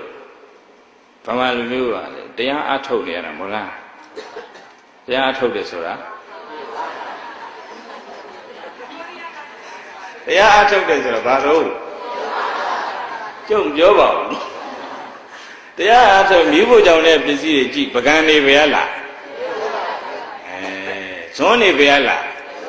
တဲပိုင်းနေပဲလား အဲအဲ့ဒါပဲအဲ့တော့ပြည့်တဲ့ကြည့်လို့ရေဟိုကနောက်ထပ်ကုန်ပစ္စည်းအစ်စ်မဝင်ဘူးဆိုရင်ဒီအတွင်းထဲမှာရှိတဲ့ကုန်ပစ္စည်းကဈေးတက်မလားကျလားသုံးတာနေတိုင်းသုံးနေတယ်ဟုတ်လားပြည့်တဲ့ကြည့်နောက်ထပ်ပစ္စည်းကမဝင်ဘူးဆိုရင်ပစ္စည်းပြတ်တော့မယ်ဆိုရင်ဒါကုန်စိမ်းတော့တက်တော့တာပဲအဲ့ဒီတရားငါးမိုင်ကိဘာဖြစ်နေတယ်ညာဖြစ်နေတယ်ဆိုတဲ့သတင်းကိုဥဥဖြားဖြား သိရတဲ့စီပါရေးသမားဟာအဲ့ဒီရက်ပိုင်းအတွင်းရသမျှပစ္စည်းကိုပေးတတ်ကြည့်လို့ရေဝယ်ပြီးလှောင်ထားလိုက်တလအတွင်းအမျက်မရနိုင်ဘူးလား information and technology is very very important to improve our economy or your business ခင်ဗျားတို့စီပါရေးကျတော့မြန်မာပြည်ရဲ့စီပါရေးမြင့်တင်ဖို့အရေးမှာ IT ကတရင် မလိုဘူးလားလိုတယ်နိပညာမလိုဘူးလားအေး IT ခေတ်မှာ iNet တီနောက်ကြလို့ရှိရင်တော့ကျတို့နောက်တန်းနေရမှာပါပဲဟုတ်လားပြည့်တယ်ဆိုလိုတာကံကြီးပုံမချနဲ့ဒီနေ့ခေတ်မှာညံတဲ့ဝီရိယကိုသုံးဖို့အင်မတန်လိုးနေပြီကျတို့ဘာမှလူငယ်တွေလူငယ်တွေလည်းပြောကြပါလေနှိမ့်ချပြောတာမဟုတ်ပါဘူးတိတ်ခါချပြောတာမဟုတ်ပါဘူးကျောင်းသားကျောင်းစာစိတ်မဝင်စားဘူး ဟုတ်လားပြည်သက်ကြီးစီးပွားရေးသမားလည်းစီးပွားရေးနဲ့ပတ်သက်ပြီးလေ့လာရမယ်ဟဲ့လားဘုသူတ္တမရှာဘူးဗျစီးပွားရေးတည်င်းနားမစွန့်ဘူးဗျစီးပွားရေးနဲ့ပတ်သက်တဲ့စာပေဘဟုတုတ္တမဖတ်ဘူးဗျအဲ့တော့ပြည်သက်ကြီးတို့ဒီနေ့ဗမာစီးပွားရေးမှာဗမာတွေရှေ့တန်းမှလားနောက်တန်းမှလားဦးစင်မပြောဘူးနော်ဦးစင်မပြောဦးစင်ဈေးကြိုနာကုန်းမဆိုင်တွေပဲပြောတာပါ ဟုတ်လားပြည်သက်ကြီးအဲ့ဒါပြည်သက်ကြီးတို့ကြီးကံကြီးတာပြောကြကြီးဆိုကျတို့ဗမာတွေလောက်ဒါနပြုတာရှိရလားရှိပါဘူးဗျာအေးပိစုပန်ကံဟဲ့လားအတိတ်ကံအပြင်ပိစုပန်ဉာဏ်ဝေရိယစုံရသေးတယ်ဆိုတာပြောကျင်တာပါဗမာတွေတော့ဥပုသ်ဆောင်တာမရှိပါဘူးကျတို့ဗမာဗုဒ္ဓဘာသာမြန်မာလူမျိုးလောက်တရားစခန်းဝင်တာမရှိပါဘူးဒါနကိုတိလကိုဘာဝနာကိုပိစုပန်ကံရင်ကြည့်မယ်ဆိုရင် ကံလောက်နဲ့ပဲအကျိုးပေးလုံလောက်မယ်ဆိုရင်ဗမာတွေစီပါရီထိတ်တန်းမှရှိမယ်ဒါပေမဲ့ညံတဲ့ဝိရိယလိုးနေတယ်ပြည်သားကြီးတို့ဘာနဲ့ဘာလိုးနေတော့ဟိုဦး speaking class တစ်ခုတက်တော့တရုတ်မုံတက်ပန်ရှင်တခါကြီးတယောက်နဲ့ယဉ်နှီးတယ်သူနဲ့ယဉ်နေသူလည်း speaking လာတက်သူသားစင်ကာပူမှာပညာသင်ထွက်မှာမလို့တဲ့ အဖော်တလတော့လိုက်ပေးအောင်လို့ဒုတ်တဲ့ရွှတ်ရှက်ပြောတာလို့လာတက်တာတဲ့အဲ့ဒါရင်းနှီးတယ်ရင်းနှီးတော့သူကပြောပြရင်းနှီးလာတော့ပုံမှန်လင်းပြောပြဒီလိုလိုအမှန်တိုင်းပြောရရင်တဲ့တပိတော်တို့ကတော့ဒီမြန်မာပြည်ရောက်မှမွေးတာပါတဲ့တပိတော်တို့အမေတွေအဖေတွေလက်ထက်တုံးကားတဲ့ဒီလိုလိုတရုတ်ပြည်မှာအလုံးမရှိလို့စားစရာမရှိလို့ဒီမြန်မာပြည်ထွက်လာတာ အလုံးမရှိလို့စားစရာမရှိလို့ဒီမြန်မာပြည်ထွက်လာတာတဲ့ဒါပေမဲ့ပြန်ပြီးတော့လာကြတဲ့အတိုင်းသူများတိုက်ပြည်မှာရက်တီရမှာဆိုတော့ဆင်းရဲလို့မဖြစ်ဘူးဆိုတဲ့စိတ်ပါတယ်တဲ့ချမ်းသာမှဖြစ်မယ်ဆိုတဲ့စိတ်ဓာတ်ပါတယ်တဲ့ကံဝိဒကြီးဟိုမှာကအဲ့လိုရှားလို့တရုတ်ကပေးတဲ့ကြီးခုမှစီပါကြီးနိပညာတိုးတက်လာတာသိဘာကြာသေးတာမှမဟုတ်တာကြီးလူဦးရေသိများတယ် မှန်လားပြည့်တဲ့ကြီးအေးအဲ့တော့စာဝန်ဒီစီပါကြီးကြက်တဲလို့အလုတ်ကန်ရှားပန်းလို့ထွက်လာတယ်ဆိုမှတော့သူတို့လာတော့ကလက်ထဲငွေပါပါမလားပါပါဗျာရွှေပါပါမလားပါပါဗျာမြေပါပါဗျာရေတော်မပါဘူးဟုတ်လားပြည့်တဲ့ကြီးလက်ကြည်လာခဲ့တာဒီလူမျိုးကြဘာသာကြလက်ကြည်လာခဲ့ပြီမဲ့စိတ်ဓာတ်ကပါတယ် ဟုတ်လားပြည့်တဲ့ကြီး तू ကပြောပြတယ်တပည့်တော်တို့တဲ့အဲ့ဈေးကြိုကြီးဖျားတဲ့ဈေးကြိုတော်ကြီးမဆောက်ခင်လို့ကအဲ့နေရာမြေနေရာဘာမှဈေးမရှိဘူးတဲ့ဈေးသိပ်မကြည့်သေးဘူးတဲ့တပည့်တော်လက်ထဲစုထားတဲ့ဝေဘူငွေရှန်လေးရှိတာနဲ့အဲ့မှာဝယ်ထားတာတဲ့အခုဟောရောင်းကောင်းတဲ့နေရာမဖြစ်ဘူးလားအမျော်မြင့်ဉာဏ်ပညာကိုပြောနေတာသဘောပေါက်လားပြည်တယ်ဘုရားထွန်းကြည်လက်ထက်တုန်းကလည်းမြို့သစ်မှာ မြေခွက်တွေချတော့ဖျားတယ်6သိန်းလောက်ပဲရှိတယ်တဲ့လက်ထဲမှာပြီးတော့လည်းငွေဘုံငွေချန်နဲ့စုဆောင်ထားတာရှိတော့စုဆောင်ထားတာတဲ့ဖြုံသုံးပြတာမဟုတ်ဘူးဟုတ်ပလားအကွက်တွေ့တာနဲ့သူဒီငွေကစားပြတာဒါကိုပြောပြနေတော့ပြည်သက်ကြီးလို့ဟုတ်ပလားအားကြဖို့ကောင်းတယ်လဲလို့ဟုတ်လားပြည်သက်ကြီးလက်ကြည်လာတဲ့လူတွေကမြေလဲပိုင်အောင်ရွှေလဲပိုင်အောင် ဟုတ်ပလားရောင်းလို့ပဲလို့ကောင်းတဲ့နေရာတွေကိုရအောင်ယူနိုင်တဲ့စီးပွားရေးပညာအတူယူဖို့မလိုဘူးလားလောလမထုံညာမကူပဲအယူတချောင်းကံတချောင်းမြမကောင်းလဲကံကောင်းလဲကံဟုကံဟိုကြီးသာမကိုရဘူးလို့ပြောချင်တာကောင်းလဲကံမကောင်းလဲကံ ရှိပါဖြစ်လဲကံမဖြစ်လဲကံလို့မနေကြနဲ့ဘာနဲ့ပါလဲလို့တော့ဘုရားစာပေကျမ်းကမျက်မှောက်ကြီးပွားကြောင်းတရားတွေအများကြီးပြောရတယ်ပြည့်တယ်လောကီမှာဖြစ်ဖြစ်လောကုတ္တရာမှာဖြစ်ဖြစ်ကြီးပွားခြင်းတဲ့သူဟာအင်္ဂါ၄ချက်ညီရမယ်နံပါတ်1စန္ဒပြင်းပြရနံပါတ်1အောင်မြင်ခြင်းနဲ့စန္ဒကြီးပွားခြင်းနဲ့စန္ဒ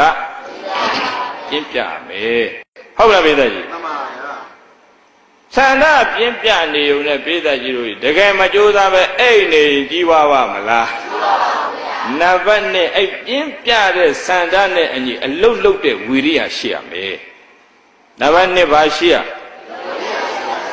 ဝီရိယရှိရမယ်အလုတ်လုတ်ရမယ်ဟုတ်လားပိဿကြီးကျောင်းစာဟာကျောင်းသားဟာကျောင်းစာအလုတ်လုတ်ကိုလုတ်ရမယ် အလုတ်သမားဟာကိုတောင်ယူထားတဲ့အလုတ်ကိုကြည်အောင်လုတ်ကိုလုတ်ရမှာကျောင်းဆရာဆရာမလည်းကိုတောင်ကိုကြည်အောင်လုတ်ရမှာအုတ်ချုပ်သူတွေလည်းကိုတောင်ကိုကြည်ရမှာပဲမှန်ရပြီလေဘုန်းကြီးတွေလည်းဘုန်းကြီးတွေရဲ့ဘာသာရေးအခန်းကဏ္ဍတာဝန်ကြည်ရမှာအတီးတီးအလုတ်လုတ်မှတိုးတက်မယ်ဟုတ်လားပြည်သက်ကြီးဝီရိယရှိရသန္တဝီရိယကဲဘာသာရေးလို့လို့ စီပါရေးလို့ချမ်းဘယ်ကိစ္စလို့လို့လုတ်ခါစားမှာပြည့်တဲ့ကြီးအခက်ခဲဆိုတာမတွေ့ဘူးလားတွေ့ပါဗျာတွေ့တာခက်ခဲတွေ့တဲ့အခါမှာနောက်တွန့်နေတဲ့စိတ်ဓာတ်မျိုးနဲ့တော့အောင်မြင်မှုမရဘူးနံပါတ်3ခိုင်မာတဲ့စိတ်ဓာတ်ရှိရမယ်ဘယ်လိုစိတ်ဓာတ်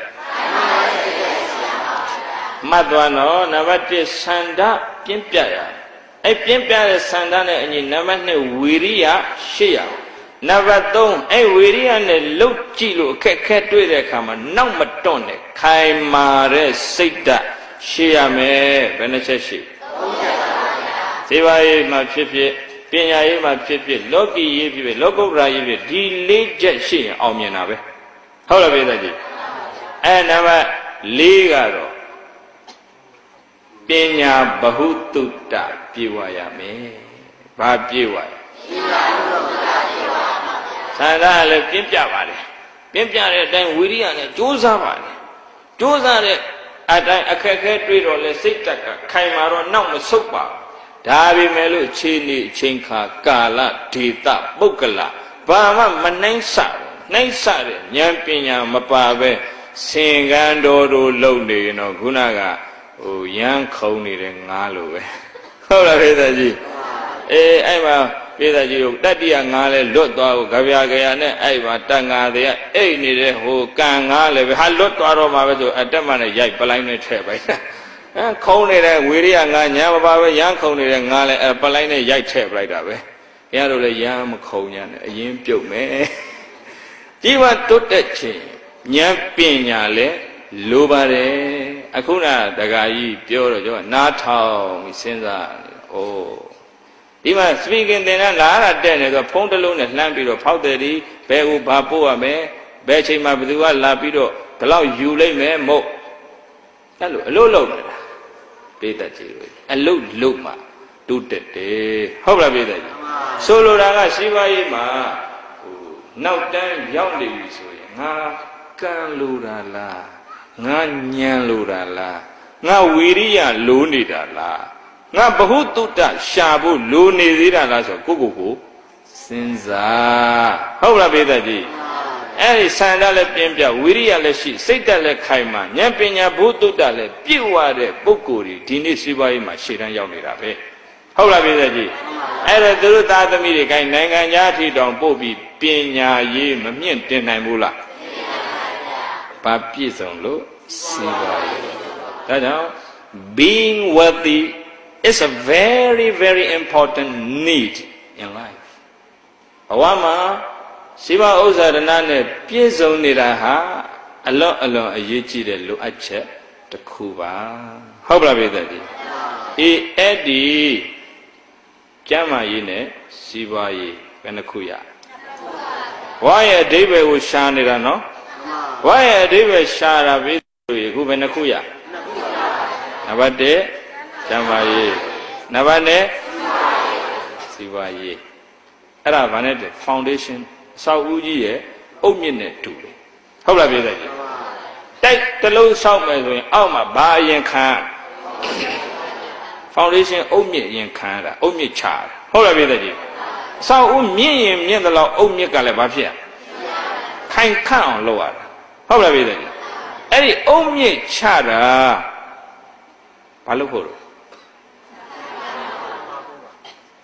အဘောဓအဆောက်အုံမြင့်မို့ဟုတ်ပလားအုံမြင့်ကြီးချပြီးအဘောဓအဆင့်မမြင့်ဘူးဘာမှပထမဓာတ်ဒုတိယဓာတ်တတိယဓာတ်တွေဘာမှမတက်ဘူးဆိုရင်ဒီ foundation ရဘာလို့ဖို့လို့ဟုတ်ပလားအလကားဖြစ်မှာပေါ့အဲ့တော့ foundation အုံမြင့်ချပြီးရင်အဘောဓာတ်ကအဆောက်အဦကိုမြင့်ရမယ်အခုဦးဇင်းတို့သုံးဓာတ်တိုက်ဆောက်ကြရအောင်ဘယ်နှဓာတ်တိုက်တော့อืมကြို က်ကျမ်းမာရေးလည်းကောင်းတယ်စီးပွားရေးလည်းပြည့်စုံတယ်အသင့်အတင့် living standard လူနေမှုအဆင့်တန်းပြီးအောင်နေနိုင်ပြီဘဝရဲ့အဓိပ္ပာယ်ဟာ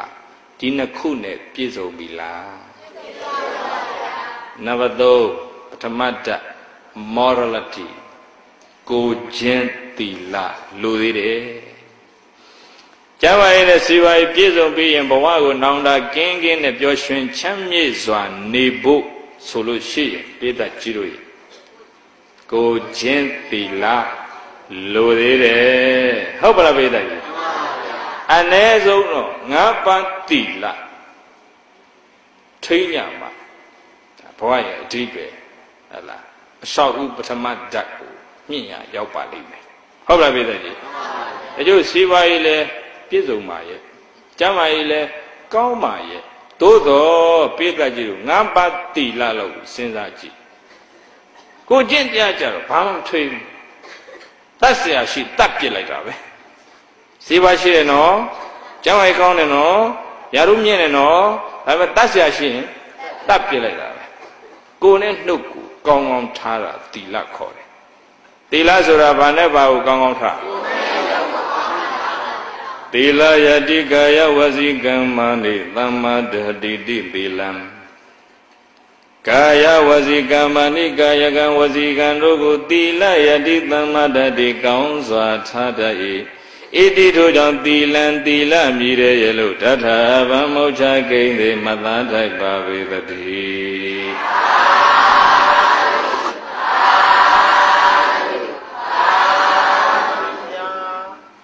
ကိုကျင့် သီလဆိုတာကိုနဲ့နှုတ်ကိုကောင်းကောင်းထားတာ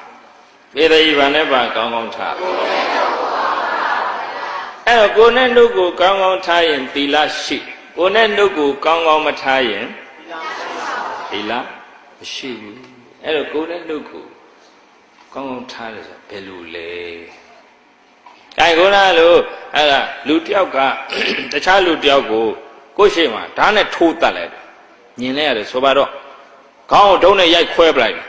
မြင်လဲရတယ်ဆိုပါတော့ဓာတ်ဆိုတနတ်နဲ့ပြစ်တတ်ပလိုက်တယ်မြင်လဲရတယ်ဆိုပါတော့မြင်ရတဲ့သူရဲ့ယင်တဲကို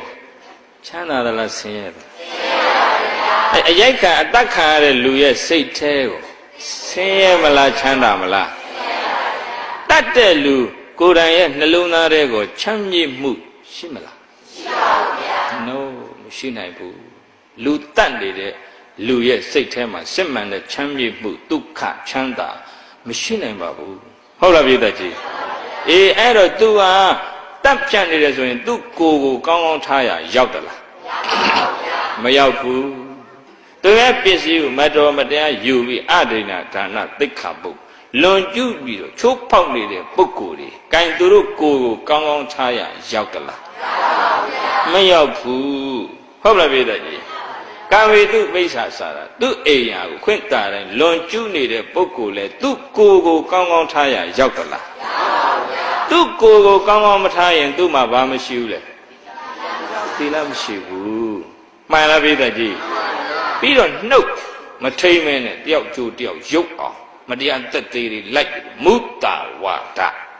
လေညာပြီးတော့တခါလေသူများအကျိုးရုပ်အောင်ပြောဆိုနေတယ်ဆိုရင် အဲ့ဒီလူဟာသူ့နှုတ်ကိုကောင်းကောင်းထားရရောက်သလားမရောက်ဘူးအရက်သေးသားတွေတောက်စားရက်ွက်ထဲမှာမူရဲ့ရံကားအိမ်ထဲမှာလည်းတခါလေမိဘမိဘမှမတိအဲ့လိုဒုစရိုက်တွေပွားနေရင်ကိုသူ့ရဲ့ကိုယ်နဲ့နှုတ်ကိုကောင်းကောင်းထားရရောက်မလားကိုယ်နဲ့နှုတ်ကိုကောင်းကောင်းမထားတဲ့သူမှဘာမရှိဘူးလေတီလာမရှိဘူးသူမှပတ်စံဘလောက်ရှိရှိ သူယာရုဘလောက်မြင့်မြင့်ဒေသကြီးသူကျမ်းမာရေးဘလောက်ကောင်းကောင်းသူကောင်းတဲ့ကျမ်းမာရေးသူရှိတဲ့ပတ်စံသူမြင့်တဲ့ယာရုဟာပတ်ဝန်းကျင်နဲ့သူ့ဘဝကိုဒုက္ခရစေဘူးလားဒုက္ခရစေဘူးလားအဲဒါကြောင့် morality ကိုကျင့်တီလာဟာပိဿကြီးမရှိမဖြစ်လိုအပ်တဲ့ဘဝရဲ့လိုအပ်ချက်ဟုတ်ပလားကိုကိုယ်တိုင်ရဲ့ဘဝကိုအဓိပ္ပာယ်ရှိရှိနေဖို့ဘ ဝအဓိပ္ပာယ်ပြည့်ပြည့်စုံစုံပြည့်ပြည့်ဝဝနေဖို့ကိုယ်ပတ်ဝန်းကျင်ကြီးကိုလည်းအဓိပ္ပာယ်ရှိစေဖို့ဆိုရင်အဲ့ဒီ morality သို့မဟုတ် moral conduct ကိုကျင့်စရဏမပါရင်ရပါမလားမရပါဘူးဗျာအာယောနာတော့ငါးပါးတည်းချိုးပေါက်နေတဲ့ပုဂ္ဂိုလ်လူတတ်နေတဲ့ပုဂ္ဂိုလ်တိတ်နေတဲ့နေရာကိုသွားတယောက်တည်းဖော်မရှိဘူးစကားပြောဖို့မရှိဘူးတိတ်အဲ့ဒီချိန်မှာတရားထိုင်ကြည့်စမ်း သူတမာရိရမလားမရပါဘူးဗျာငါလူတတ်တမာငါတတ်မိပြီနောင်တလာရနော်အေးပေးတဲ့ယူမလုတ်တဲ့နာဘူးလုတ်မိပြီကိုချင်းတောက်ချိုးဖောက်ပြီလုတ်မိပြီဆိုရင်အဲ့ဒီ guilt အင်္ဂလိပ်လို G U I L T guilt ဆိုတာနောင်တဘာပါလဲအဲ့ဒီ guilt ဆိုတဲ့အင်္ဂလိပ်ဝဟာရကို dictionary ကဘယ်လိုဖွင့်တယ်လဲဆိုရင် feeling of shame for having done wrong for having done wrong အမှားကိုလုံမိထားတဲ့အတွက်တဲ့ feeling of shame ရှက်နေတဲ့ခံစားမှုတဲ့ကိုလုံမိထားတဲ့အမှားမကောင်းမှုဒုစရိုက်ကိုတွေးတွေးပြီးတော့ကိုယ့်ကိုယ်ကိုနောင်တတွေရနေတာအဲ့ဒါကိုပါဠိကဗိဓမာကပြောတာကုတ်ကုတ်စာ ဘာခေါ်မလဲအဲ့ကုတ်ကုတ်စာတွေနှိမ့်ဆက်နေတဲ့ပုဂ္ဂိုလ်တရားသွားထိုင်တိတ်ဆိတ်တဲ့နေရာသွားနေသူ့စိတ်နှလုံးနဲ့အေးပါမလားအေးပါဗျာကျမ်းမာရေးကောင်းရင်ကောင်းမယ်ပတ်စံပေါ်ရင်ပေါ်မယ်စီးပွားပြည့်စုံရင်ပြည့်စုံမယ်ယာရုမြင့်ရင်မြင့်မယ်နှလုံးသားထဲမှာတော့ happiness မရှိဘူးပျော်ရွှင်ချမ်းမြေ့မှုမရှိဘူးအဲ့ဒီလိုလူရဲ့ဘဝအတိတ်ပဲကကိုပြည့်စုံပါမလားပြည့်စုံပါဗျာအေးဒါကြောင့်ပြည့်တဲ့ကြီးတို့ဘဝ တစ်ခုလူဘဝခေခေရင်ရတောင်ရခဲ့ရလာတဲ့လူဘဝကိုအတိတ်ပဲပြည့်ဝစွာနေဖို့ဆိုရင်ကျမ်းမာရေးကောင်းယုံစီးပွားရေးပြည့်စုံယုံနဲ့ကိုလုံလောက်ရလားဘဝကိုနောင်တကင်းကင်းနဲ့တေဂန်នេះမှာအတ္တနုဝါဒဘေးငါတတ်မိပြီငါလူတတ်သမားငါမတရားယူမှုပြီယူမိပြီငါတခိုးငါလွန်ကျူးမိပြီဟုတ်လားပြေသက်ကြီး ငါသူများအကျိုးရုပ်အောင်လိမ်မိပြီဆိုပြီးကိုကိုကိုဆွတ်ဆွဲပြီးပူလောင်မှုတွေနဲ့နေနေရတဲ့သူရဲ့ဘဝဟာအဓိပ္ပာယ်ပြည့်စုံမှာမလားပြည့်စုံပါဗျာ moral conduct is a very very important need to live life happily and peacefully ဘဝကိုပျော်ရွှင်စွာငြိမ်းချမ်းစွာနေဖို့ဆိုလို့ရှိရင်ပိဋကကြီးတို့ရေကိုကျင့်တရားဟာအလွန်အလွန်အရေးကြီးတယ် လိုအပ်ချက်ပါအဲ့ဒါကျမ်းမာရေးနဲ့စီးပွားရေးဆိုတဲ့ foundation အုတ်မြစ်ရဲ့အပေါ်မှာပထမဓာတ်ဆောက်လိုက်တာသီလအပါလိသီလပါဗျာအေး foundation ကြီးချပြီးတော့အပေါ်ကဘာထပ်မှမဆောက်ဘူးဆိုရင်အဲ့ဒီ foundation ချတာအလကားပေါ့ဟုတ်ပလားကျမ်းမာရေးတွေပြည့်စုံနေတယ်ကောင်းမွန်နေတယ်စီးပွားရေးတွေလည်းပြည့်စုံနေတယ်ဟဲ့လားငွေကြေးလည်းတုံးမကုန်ဖြုံးမကုန်ပေါ်ပါရဲ့ ဟဲ့လားရွှေတွေငွေတွေပြည့်စုံပါရဲ့ဒါပေမဲ့ကိုကျင့်တီလာမရှိရင်အဲ့ဒီအုံညစ်ပေါ်မှာအထက်ဆင့်အထပ်မမြင့်တယ်လို့ပဲအိဗယ်ရှိပါဦးမလားရှိပါဘူးဗျာအေးအဲ့ဒါနံပါတ်1ပထမဓာတ်ကျမ်းမာရေးနဲ့စီပါရေးထိုက်တင်တယ်လို့ပြည့်စုံပြီဆိုရင်ဘဝကိုနောင်တကင်းကင်းနေဖို့အတွက်ဘဝအဓိပ္ပာယ်ဟဲ့လားရှာကြရမှာပထမဓာတ်ဟာဗာလဲ သီလ foundation လည်းမမေ့နဲ့ဟုတ်လားပြည်သားကြီးအေးအဲ့တော့ဂိုင်၅ပါးသီလလေးထိလို့မမှန်ကန်ကန်တမ္မာအာဇီဝကြကြစီဝါရှာလို့အသင့်အတင့်ဟာလားလူနေမှုဆင့်တန်းနဲ့နေနိုင်တယ်ဆိုရင်အဲ့ဒီပုဂ္ဂိုလ်ရဲ့ဘဝအတော်အေးချမ်းနေပြီဟုတ်လားဂိုင်သီလငါးပါးသီလလုံအောင်ထိန်းတယ်ဒါလောက်နဲ့ရောဘဝအတိတ်ပဲပြည့်စုံမလားလို့ဆိုတော့ ပြည့်စုံသေးဘူးဦးဇင်းတို့ဗုဒ္ဓတရားတော်နဲ့အမိပြောရရင်သီလဟာခြေခံပဲရှိသေးတယ်သီလပြီးရင် concentration တမာတိအဆင့်မြင့်ရအောင်မယ်ဒါကဒုတိယဓာတ်ပေါ့တမာတိကဒုတိယဓာတ်ဟုတ်လားဘေးသက်ကြီးအေးတမာတိ ဟလာစိတ်ဆိုတာဥစဉ်တို့ဓမ္မပြည်တယ်လို့စိတ်ဟာမလစ်ကျင့်မဲ့ထားရင်တောင်တွေးမြောက်တွေးတွေးနေတာပဲဟုတ်ပလားတောင်ကြံမြောက်ကြံကြံနေတာပဲအဲ့တွေးတဲ့အတွေးရတဲ့ဘေးသက်ကြီးပူစရာနဲ့အေးစရာဘာရှာတွေးတာများတယ်စိတ်ရဲ့သဘောနဲ့အတော်ခက်တယ်ဘေးသက်ကြီးတို့မပြေလေတဲ့ကိစ္စဆိုမေ့ထားလို့ကိုမရဟုတ်ပလားပြေလေတဲ့ကိစ္စမေ့ထားလို့ရသေးတယ်ဟုတ်ပါဗျာခင်ဗျားတို့ကဲ ဟိုမန်းလေးသွားဈေးဝယ်တယ်ပေါ့ဗျာအဲဈေးတွေကနေပြီးတော့ကိုယ့်ကိုဈေးမှန်မှန်ကန်ကန်ဈေးနှုန်းနဲ့ပဲရောင်းလိုက်တယ်ပစ္စည်းကလည်းအတုမဟုတ်ဘူးအစ်စ်ပဲပေးလိုက်တယ်အေးစေးစေးအဲ့လိုထိုက်တဲ့ဈေးနဲ့ပေးဝယ်လာရတယ်ဆိုရင်ပျော်လို့ဟုတ်လားရဲ့တဲ့အဲပစ္စည်းကလည်းအတုကြီးအတုကြီးကိုအစ်စ်လို့ညာရောင်းလိုက်တာဈေးကလည်းမတန်တဆပေးခဲ့ရတယ်ဆိုရင်ဘယ်ကအဲ့ကိစ္စမေ့ထားလို့ရလားမရဘူး ဒင်းလို့ဆိုင်မသွားကြနဲ့ဟင်မတရားအမျက်ယူရအဲ့ဆိုင်မသွားနဲ့အဲ့ဒါနောက်အဲ့ဒီမန်းလေးသွားတယ်အဲ့ဒီဈေးဆိုင်တိုင်းရောက်တန်းခင်ဗျားတို့ရင်ပတ်ထဲကအနာအသက်ပြန်ဖြစ်နေမှာစိတ်ရဲ့သဘောကပြေးတယ်ကြီးမပြေလေတဲ့ကိစ္စဆိုပို့ပြီးတွေးတယ်ဟုတ်ပလားအဲ့တော့ဒီရောက်လိုက်ဟိုရောက်လိုက်နေရောက်ရက်ခတ်နေတဲ့စိတ်ငြိမ်သက်အောင်လုပ်ဖို့တမာတိလိုတယ်ဘာလို့ပါလဲတမာတိလိုပါ Hey, there can be no true peace of mind without concentration. အဲ့စိတ်ကိုတည်ငြိမ်အောင်ထားပြီးတယ်တမာတိမရှိဘဲနဲ့စိတ်ရဲ့ငြိမ်းချမ်းမှုမရပါဘူး။ no မရှိနိုင်ဘူး။ဟုတ်လားပြောတယ်။အဲတချို့ကပြောတယ်တို့ဘာကြောင်းသွားဥပုသ်ဆောင်နေဘူးမလိုပါဘူးတဲ့။ဒါတရားစကားဝင်နေဘူးမလိုပါဘူးတဲ့တို့ကဘာစိတ်ယုံမှမမွေးတာမှမဟုတ်တာတဲ့။အဲ့ဒါသူများ ဟိုတို့ကဘာမှချိခဲ့အောင်လုပ်နေတာမဟုတ်ဘူးတဲ့ဥပုပ်ဆောင်ကိုမလိုဘူးတဲ့ဒီလိုပြောတဲ့လူတွေမရှိဘူးလားရှိသလား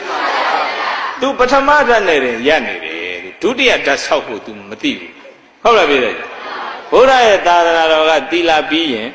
သမာဓိသမာဓိပြီးရင်ပညာလူသေးတယ်ဗျဟုတ်ပလားတီလထိယုံနဲ့ပြေးကိုနဲ့နှုတ်ပဲငြိမ်နေစိတ်မငြိမ်ဘူး ကိုနဲ့နှုတ်ကိုငြိမ်အောင်လုပ်ပေးတာတီလစိတ်ကိုငြိမ်အောင်လုပ်ပေးတာတမာရီဗျာဟုတ်ပလားအဲ့ဒါစိတ်ကလေးငြိမ်ပြီးငြိမ်ချမ်းတဲ့စိတ်နဲ့နေခြင်းရင်တမာတိထူတော်မူလိုတယ်မလိုဘူးလားတတောဝတတိရှိသည်ဖြစ်၍သာလဲအတ္တတတိဝင်သက်ကိုရှု၏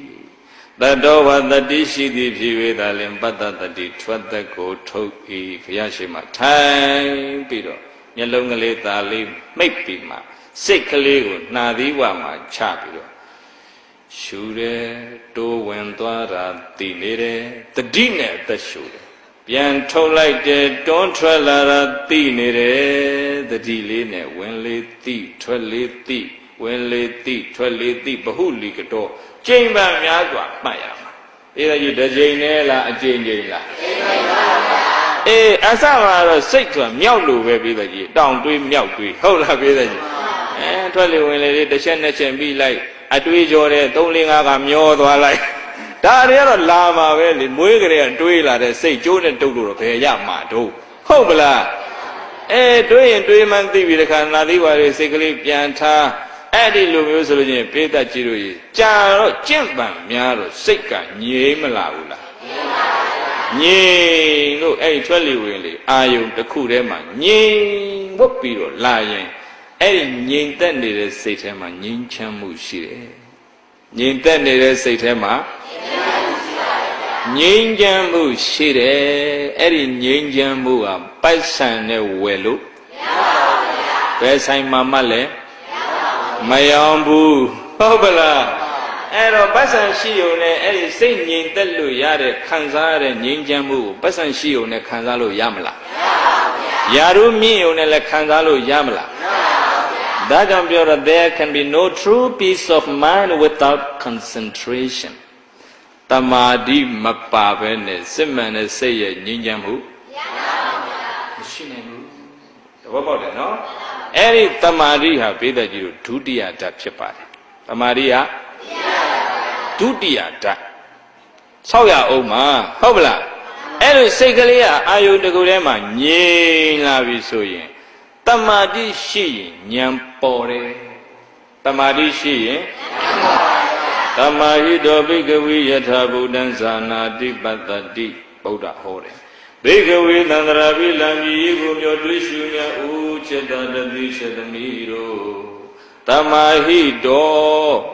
အကြည်ငြိမ်အပန်ပန်ရှုမှတ်ပြီးတော့လေ့ကျင့်ထားလို့စိတ်ကလေးငြိမ်သက်ပြီးတော့တမာရိရှိသောပုဂ္ဂိုလ်အားယတာဘုဒ္ဓဟုတ်တိုင်းမှန်စွာဇာနာတိယုတ်တရားနန္တရားတွေဖြစ်ပြီးတော့ပြတ်သွားတာကို အမှန်တိုင်းသိနေ၏ ယထာဘုဒ္ဓမဖောက်မပြန်ဝါဟုတ်တိုင်းမှန်စွာပတ္တိယုတ်တရားနံတရားတွေဖြစ်ပေါ်လာပြီးရင်တည်မြဲမနေပဲနဲ့ပြက်ပြက်သွားတာကိုဉာဏ်ပညာနဲ့မြင်နေ၏တမာတိရှိရင်ဉာဏ်ပေါ်တယ်ပိဒါကြီးတို့တမာတိရှိရင်ဉာဏ်ပေါ်ပါဗျာဉာဏ်ပညာဟာအဲ့ဒါတတ္တိယဆင်းဟုတ်ပလားမှန်ပါဗျာအေး အိမ်ပါအောင်နာရတရားနာရဟုတ်လားပြည်တယ်ကျမ်းပါရင်နဲ့စီးပွားရေးကအုတ်မြင့်ဖောင်ဒေးရှင်းဟုတ်ပလားအဲ့ဒီရဲ့အပေါ်မှာပထမဓာတ်ဆောက်လိုက်တာတီလထဟုတ်ပလားအဲ့ဒီတီလရဲ့အထက်မှာဒုတိယဓာတ်ဆောက်လိုက်တာတမာတိအဲ့ဒီလိုတမာတိရှိရှိနဲ့ယုတ်နံခန္ဓာကိုစူးစိုက်ပြီးတော့ရှုမှတ်ရင်တွေးစိတ်ကလေးရှုလိုက်ရင်လည်းတွေးတယ်သိတယ်ပျောက်တယ်ဟုတ်လားပြည်တယ်ကြီး ပူတဲ့သဘာဝလေးပေါ်လာလို့ရှုလိုက်ရင်ပူတယ်တိတယ်ပျောက်တယ်ပေါ်ပြီးပျောက်တာမြင်ရင်ဒါယထာဘူတညာအမှန်တိုင်းမြင်တာဝိပဿနာညာတမာတိရှိရင်ဘာညာပေါ်လာ penetrating insight ထိုးထွင်းသိရုပ်နဲ့နာမ်တွေကိုထိုးဖောက်ပြီးတော့သိတာအပေါ်ယံသိတာမဟုတ်ဘူးစာဖတ်သိတာမဟုတ်ဘူးတရားနာပြီးသိတာမဟုတ်ဘူး ကိုယ့်ဟာကိုယ်စိတ်ကိုငြိမ်သက်အောင်လေ့ကျင့်ပြီးငြိမ်သက်တဲ့စိတ်နဲ့ရုပ်နဲ့နာခန္ဓာတွေကိုထိုးဖောက်ကြည့်လိုက်တဲ့အခါမှာမြင်တဲ့အတိအမြင်ဒါကို penetrating insight ထိုးတွင်သိတဲ့ဉာဏ်ဘယ်လိုသိတဲ့ဉာဏ်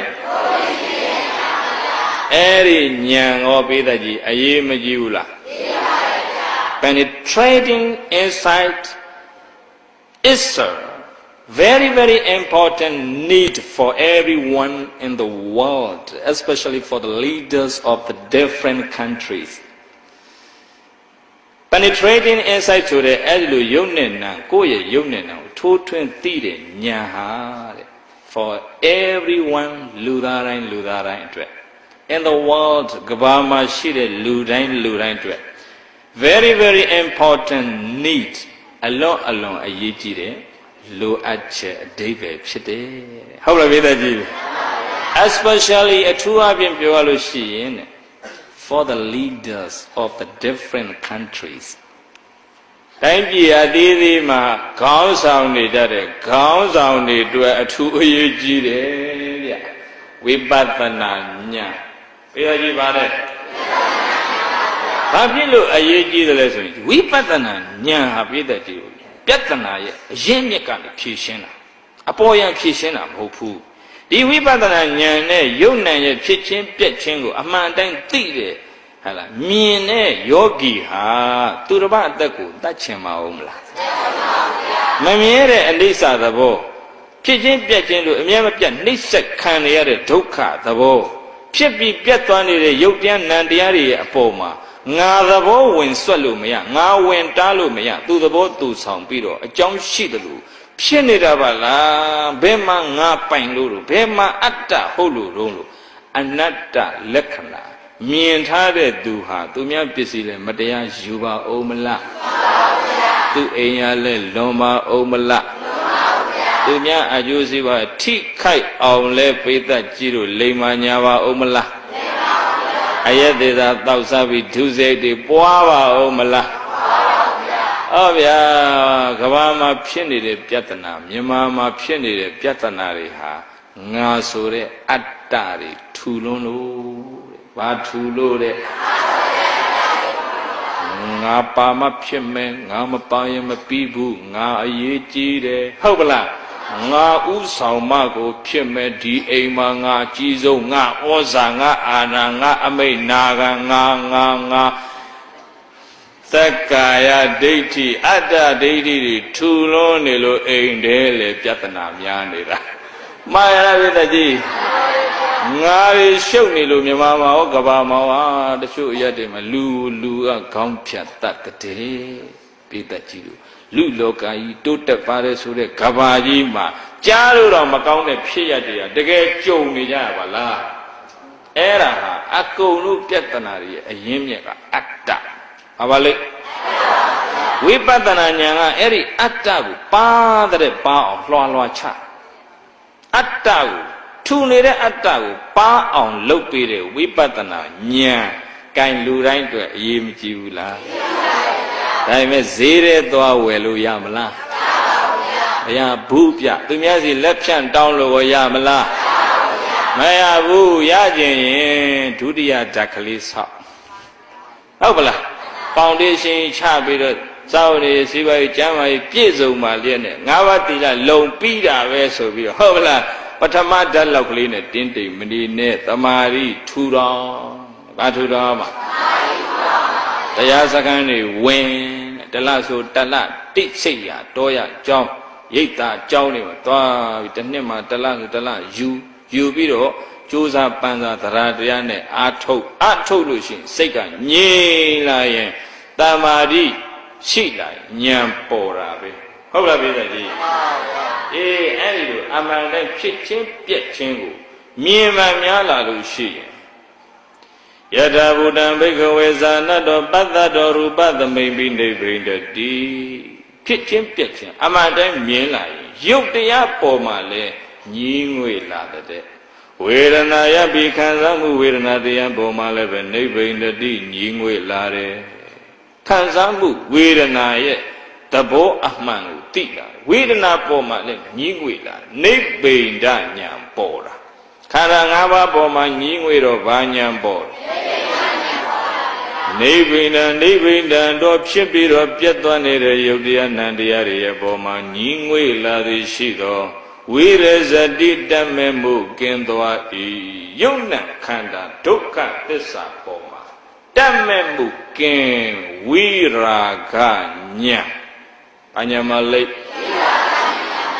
ဝိရာဂညာဆိုတာအဲ့ဝိပဿနာညာအစဉ်စဉ်ရင့်ကျက်မြင့်တက်သွားပြီးတော့မှမဲ့ညာပေါ်တာကိုပြောတာအဲ့ဒီမဲ့ညာကဘယ်ကိုအာယုံပြုတ်တယ်လဲဆိုရင်နိဗ္ဗာန်တဲ့မဲ့ညာကဘယ်ကိုအာယုံပြုတ်အဲ့ဒီနိဗ္ဗာန်ကိုအာယုံပြုတ်ပြီးတော့မှဖို့စိတ်ပေါ်လာပြီးတော့ကိလေသာအောက်ကလွတ်မြောက်တယ်တဲ့ဗျာဘယ်အောက်ကလွတ်မြောက်သွား ဝိရာဂယုဏကန္နာဒုက္ခသစ္စာပေါ်မှာတတ်မဲ့မှုကင်းသွားသည်ရှိသောဝိမု ಸ တိသမတင်တန္တရာကကိလေသာရဲ့အုပ်ချုပ်မှုအောက်မှာမလွတ်မလပ်ဖြစ်နေတဲ့စိတ်ကလေးဟာအဲ့ဒီကိလေသာအောက်ကလွတ်မြောက်သွားတော့တာပဲလို့သတ္တနလို့ရဆရာဘုရားရှင်သည်ကထေသိကရဏရှိရှုဟောပြတော်မူခဲ့ပါပြီတည်း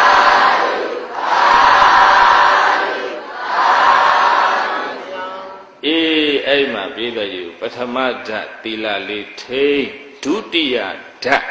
တမာရီကိုထူထောင်လို့စိတ်ကလေးငြိမ့်လာရင်တတိယဓာတ်ဉာဏ်ပညာအစဉ်စဉ်ပေါ်မလာဘူးလား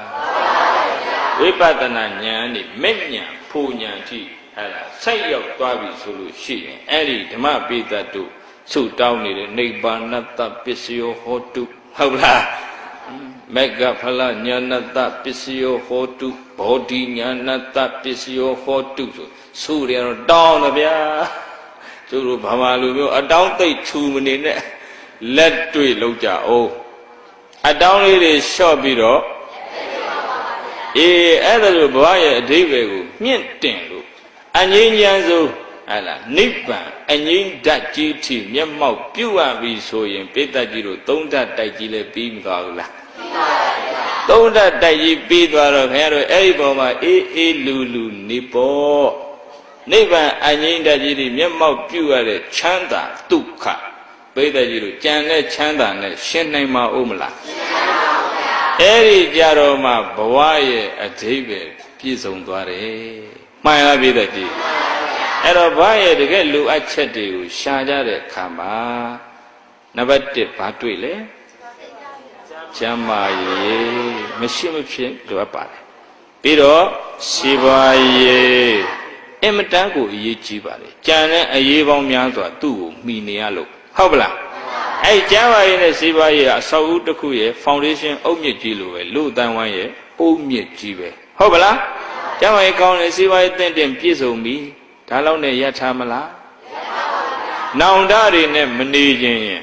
နောင်တတွေနဲ့မသေးခြင်းရင် ဟဲ့လားမသေးခင်လည်းပဲနောင်တကင်းကင်စိတ်နှလုံးချမ်းမြေ့စွာနဲ့နေခြင်းနဲ့ဆိုရင်ပထမဓာတ်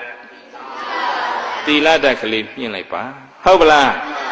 အေးသီလထမြင့်ပြီးပြီဒီစိတ်ဟာတောင်တွေးမြောက်တွေပူစရာတွေတွေးပြီးတော့ပူနေပြည့်တဲ့ကြီးပတ်စံဘယ်လောက်ရှိရှိဘယ်လောက်မြင့်တဲ့တိုက်ကြီးပေါ်နေနေဘယ်လောက်မြင့်တဲ့ယာရုရထားထားစိတ်ထဲတောကတွေနဲ့ပူလောင်နေရရင်အဲ့ဒီဘဝရဲ့အဓိပ္ပာယ်ပြည့်စုံရဲ့လားပြည့်စုံပါဗျာ not meaningful life ဒါဟာအဓိပ္ပာယ်ပြည့်ဝတဲ့ဘဝမဟုတ်သေးဘူးဟုတ်ပလားပြည့်တဲ့ကြီးအေးအဲ့ဒါကြောင့်ပထမဓာတ်တီလအရှင်းမြင့်ပြီးလို့ရှိရင်ဒုတိယဓာတ်အဲ့တောင်တေးမြောက်တွေးတွေးတဲ့စိတ်ကလေးငြိမ်အောင်လစ်ကျင့်တမာတိဒုတိယဓာတ်ကိုမြင်မှာဟုတ်ပါပြီတဲ့ကြီးဘဝရဲ့အဓိပ္ပာယ်တွေ့အောင်ရှာတာကိုယ့်ဘဝကိုအကောင်းဆုံးနေဖို့ဆိုပြီးတိုက်ဆောက်တာဘယ်နှထပ်တော့ အဲ့တမာတိအဲ့ဒါစိတ်ငြိမ်သက်ပြီဆိုလို့ရှိရင်ဝိပဿနာဉာဏ်မဲ့ဉာဏ်ဖိုလ်ဉာဏ်တွေအထိပေါက်နိဗ္ဗာန်ဒီမျက်မှောက်ပြုသွားရင်အဲ့ဒီလူသားရဲ့ဘဝအတိတ်ပဲဟာပြည့်စုံမသွားဘူးလားပြည့်စုံပါဗျာ find out the meaning of life ဘဝရဲ့အတိတ်ပဲတွေ့အောင်ရှာရှာသည်ဖြစ်စေမရှာသည်ဖြစ်စေခင်ဗျားတို့ဒီတရားနာပြီးတော့ကိုယ့်ဘာသာကိုရှာခြင်းရှာမရှာခြင်းနေကိုကိုကိုမေးဟုတ်လား ငါဘယ်နှန်းလေးရက်နေတော့ကျမ်းမာရေးကောင်းတယ်အဲစီပါရေးလည်းတင့်တင့်ပြည့်စုံပြီးအုတ်မြစ်ကြီးချပြီးငါတိုက်အပေါ်ဓာတ်မမြင့်တဲ့လူလားဟုတ်လားကိုကိုကိုမေးငါငါးပါးသီလလေးလုံနေဆိုပြီးတော့ပထမဓာတ်ကလေးနဲ့တင်တင်းတိမ်နေတဲ့လူလားဟုတ်လားအဲတမထအားထုတ်ပြီးတော့တခါတည်းပဲကိုယ့်ကိုတရားတွေသိပ်ပေါက်သွားပြီလို့ထင်ပြီးတော့အချောက်တိုက်ဘဝင်မြင့်နေတဲ့အဆင့်မှာနေသလားကိုယ့်ဘာသာကိုတွေးကြ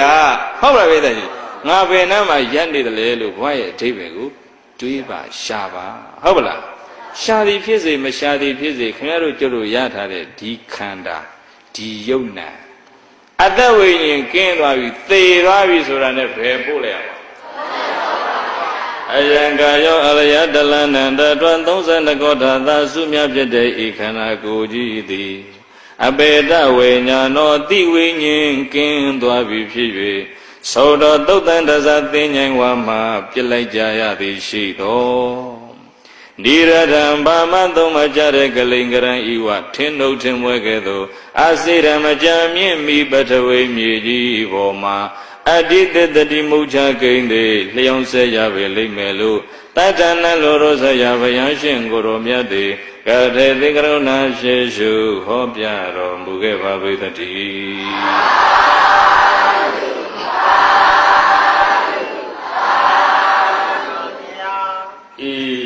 မသိခင်မှာသိရင်တုတ်တန်ပြစ်လဲရမယ်ခန္ဓာတွေကနေ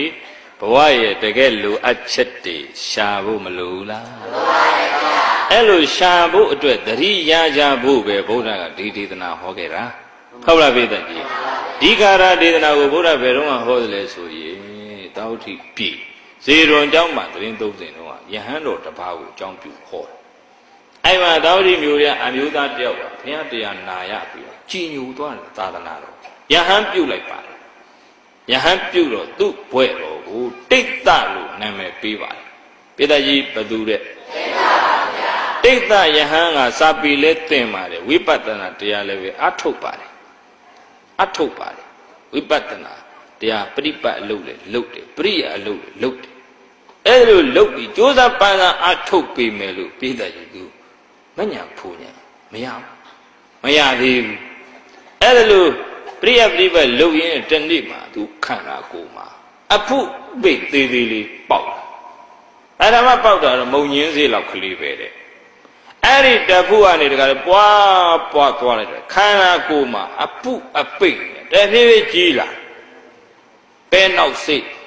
အဲ့ဒီကနေကဇီးလူသီးလုံးလောက်တဖြည်းဖြည်းအဖုတွေခန္ဓာကိုယ်အနှံ့ပေါက်သွားနောက်တော့ပြည့်တဲ့ကြီးကြီးဥရှိသီးမှဲ့လို့တခါလေပြည်တွေနဲ့တည်လာတကူလုံးကတခါလေပဲအဲ့ဒီမှာအဖို့ပိတ်နေပြည်တွေတည်ပြီးတော့မှအိရရဲလဲပြီ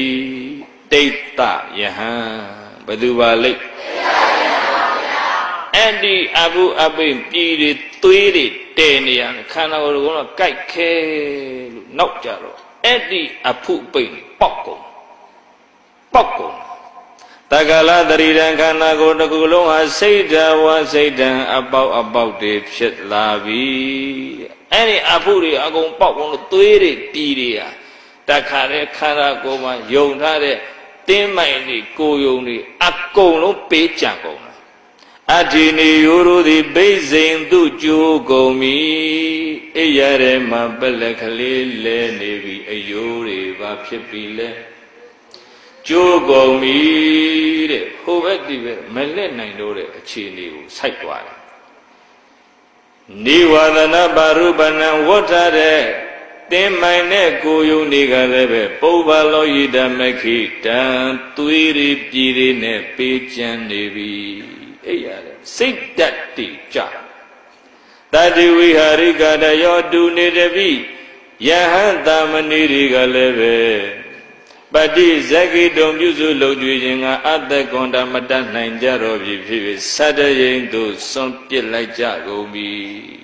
တလုံးပြီးတလုံးပေါက်ထွက်တာ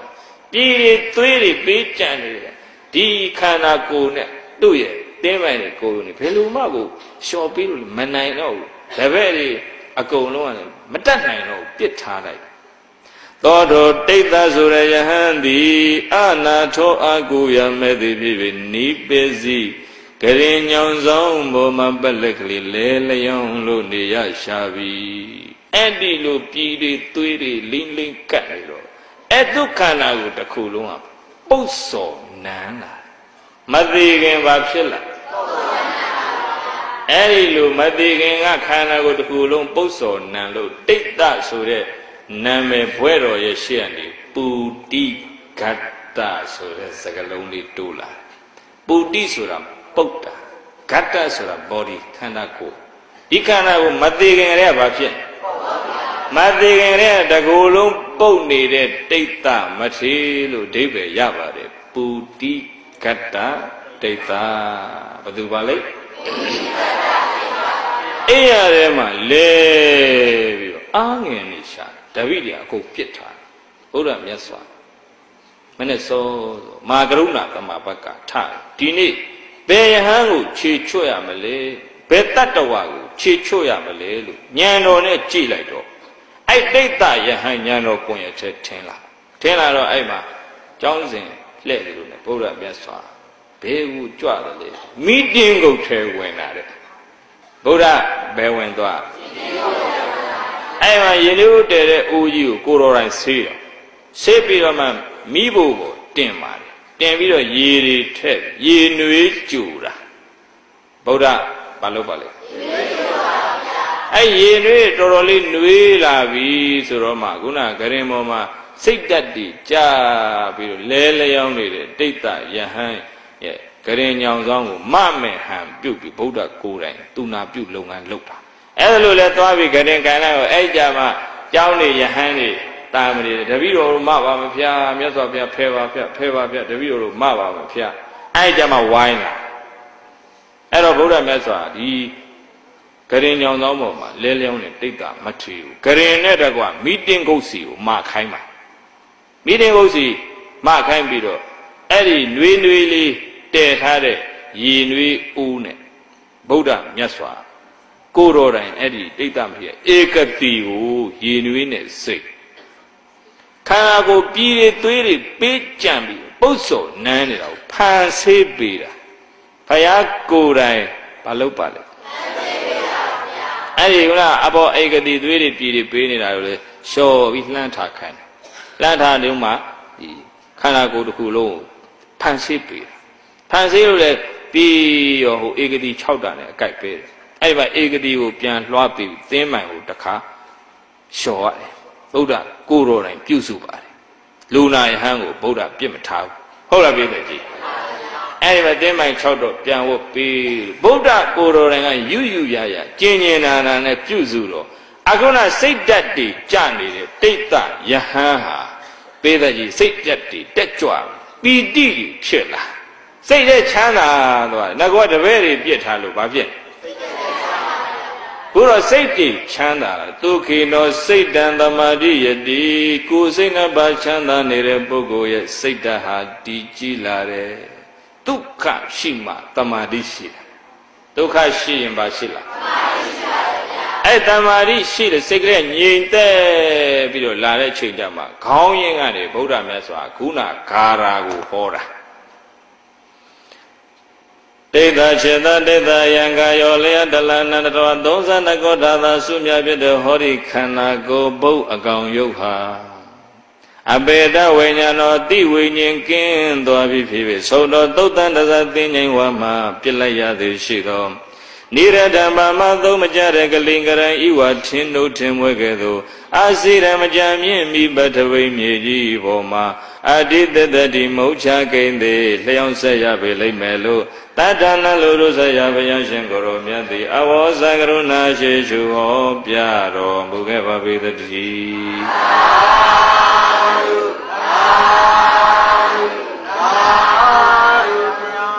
အဲ့ဒီကာရဒေသနာကိုနာရင်နဲ့တိတ်တယဟန်လည်းပြိတ္တယူတမာတိရှိတာတော့ခန္ဓာမှာညံဆိုင်ပြီးတော့ရှုလိုက်တာ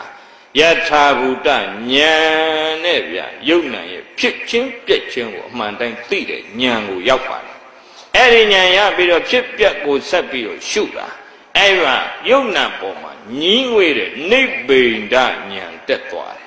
တယ်ဧဒါကြီးပဲဉာဏ်တက်သွားတယ်နိဗ္ဗိန္ဒနိဗ္ဗိန္ဒတော်ယုံနာခန္ဓာဒုက္ခသစ္စာပေါ်မှာညီးငွေလာသည်ရှိသောဝိရဇတိတမဲ့မှုကင်းသွားတော့ဤမဲ့ညံပေါ်တယ်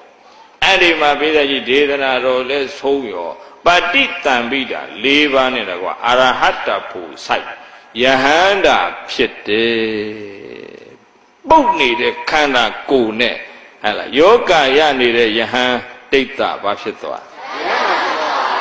အရဟတဘူစိုက်တာနဲ့ပြိဋိဘံသန္တာနဲ့တပြိုင်နက်တည်းပဲတဲ့ဗုဒ္ဓမြတ်စွာကိုရိုတိုင်းပဲသူ့ရဲ့ယုတ်ကလတ်ကိုအဲ့မှာ တင်းညိုစေပြီးဓာတ်တော်တွေကြတော့ဓာတုစေတွေတိခိုင်းမှာအဲ့မှာတန်ဃာတော်တွေမြတ်စွာဘုရားတလို့ဟိုတိတ်တယဟန်အခုဘယ်ဘုံကိုရောက်သွားပြီလေတိတ်တယဟန်ပြိနိဗ္ဗုတောငြိမ့်သွားပြီနိဗ္ဗာန်ဝင်ဆံသွားပြီတဲ့။အိုးမြတ်စွာဘုရားရဟတမေရတပုစိုက်လောက်တဲ့ဥပနိတ္တကောင်းမှု ရှိတဲ့ဒိဋ္ဌယဟန်ရဲ့အယိုးတွေဘာလို့ကျိုးတယ်လဲမသေးခင်ခန္ဓာကိုဘာလို့ပုတ်ရတာလဲဘုရားဆိုဗုဒ္ဓမြတ်စွာ ချက်သားတို့တဲ့သူပြုတ်ခဲ့တဲ့ကံကြောင့်ပဲ။ဘာကြောင့်လဲအဲ့ဒါအတိတ်ဇတ်ကြောင့်ကိုဗုဒ္ဓကဟောပါတယ်ကတ္တမမြတ်စွာဘုရားလက်ထက်ကအဲ့ဒီဒိဋ္ဌယဟန်ငှက်မုတ်ဆိုးဖြစ်ခဲ့တဲ့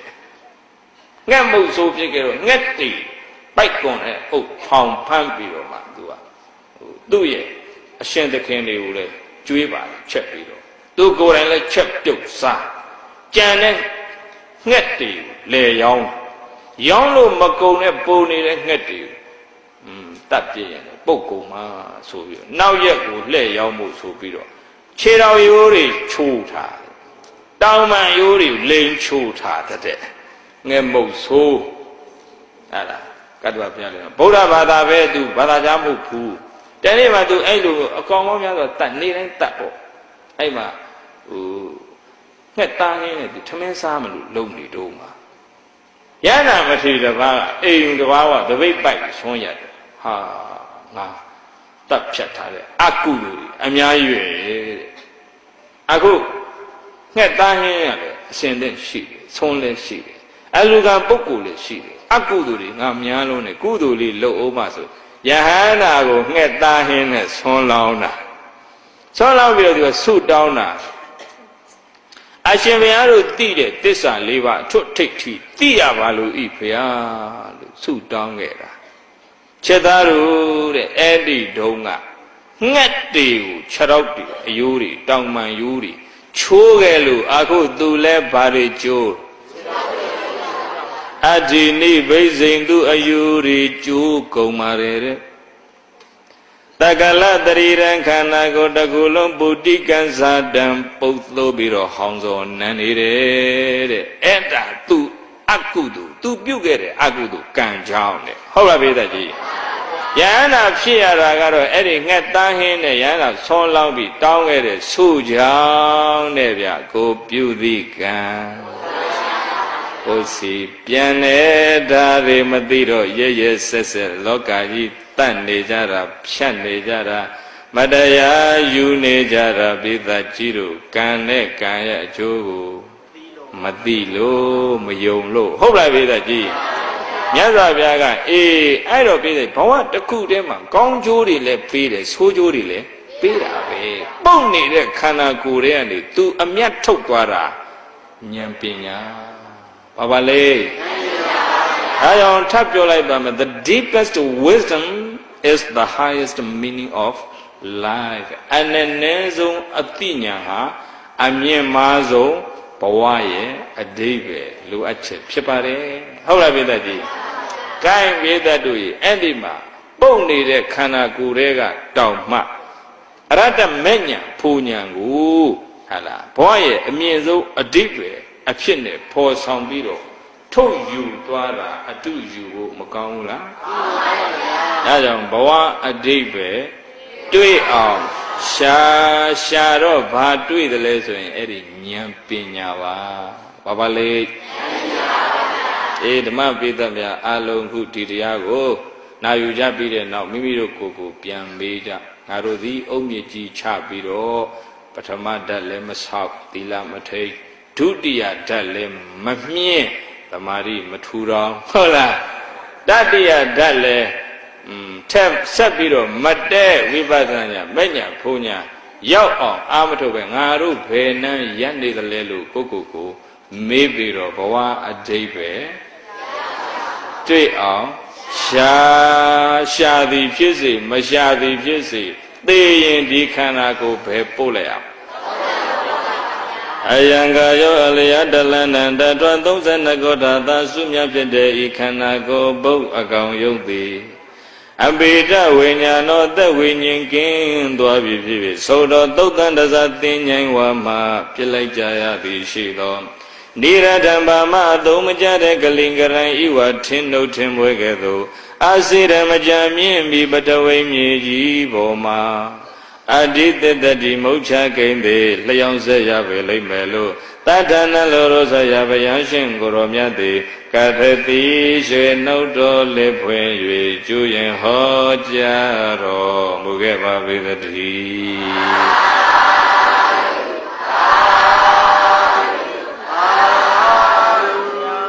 ကဲဘဝအတိတ်ပဲတွေ့အောင် ရှာဆိုတဲ့တရားဒေသနာပြဆုံးပါပြီဓမ္မပေတများအလုံးဒီနေ့ဘုန်းကြီးကောင်းမှုရှင်အိုက်ကပါကြီးတော်မြခင်နဲ့တကွ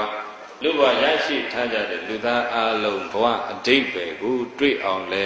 ရှာနိုင်ကြပါစေတွေ့ရှိပြီးတော့လဲဘဝကိုအတိတ်ပဲပြည့်စုံစွာ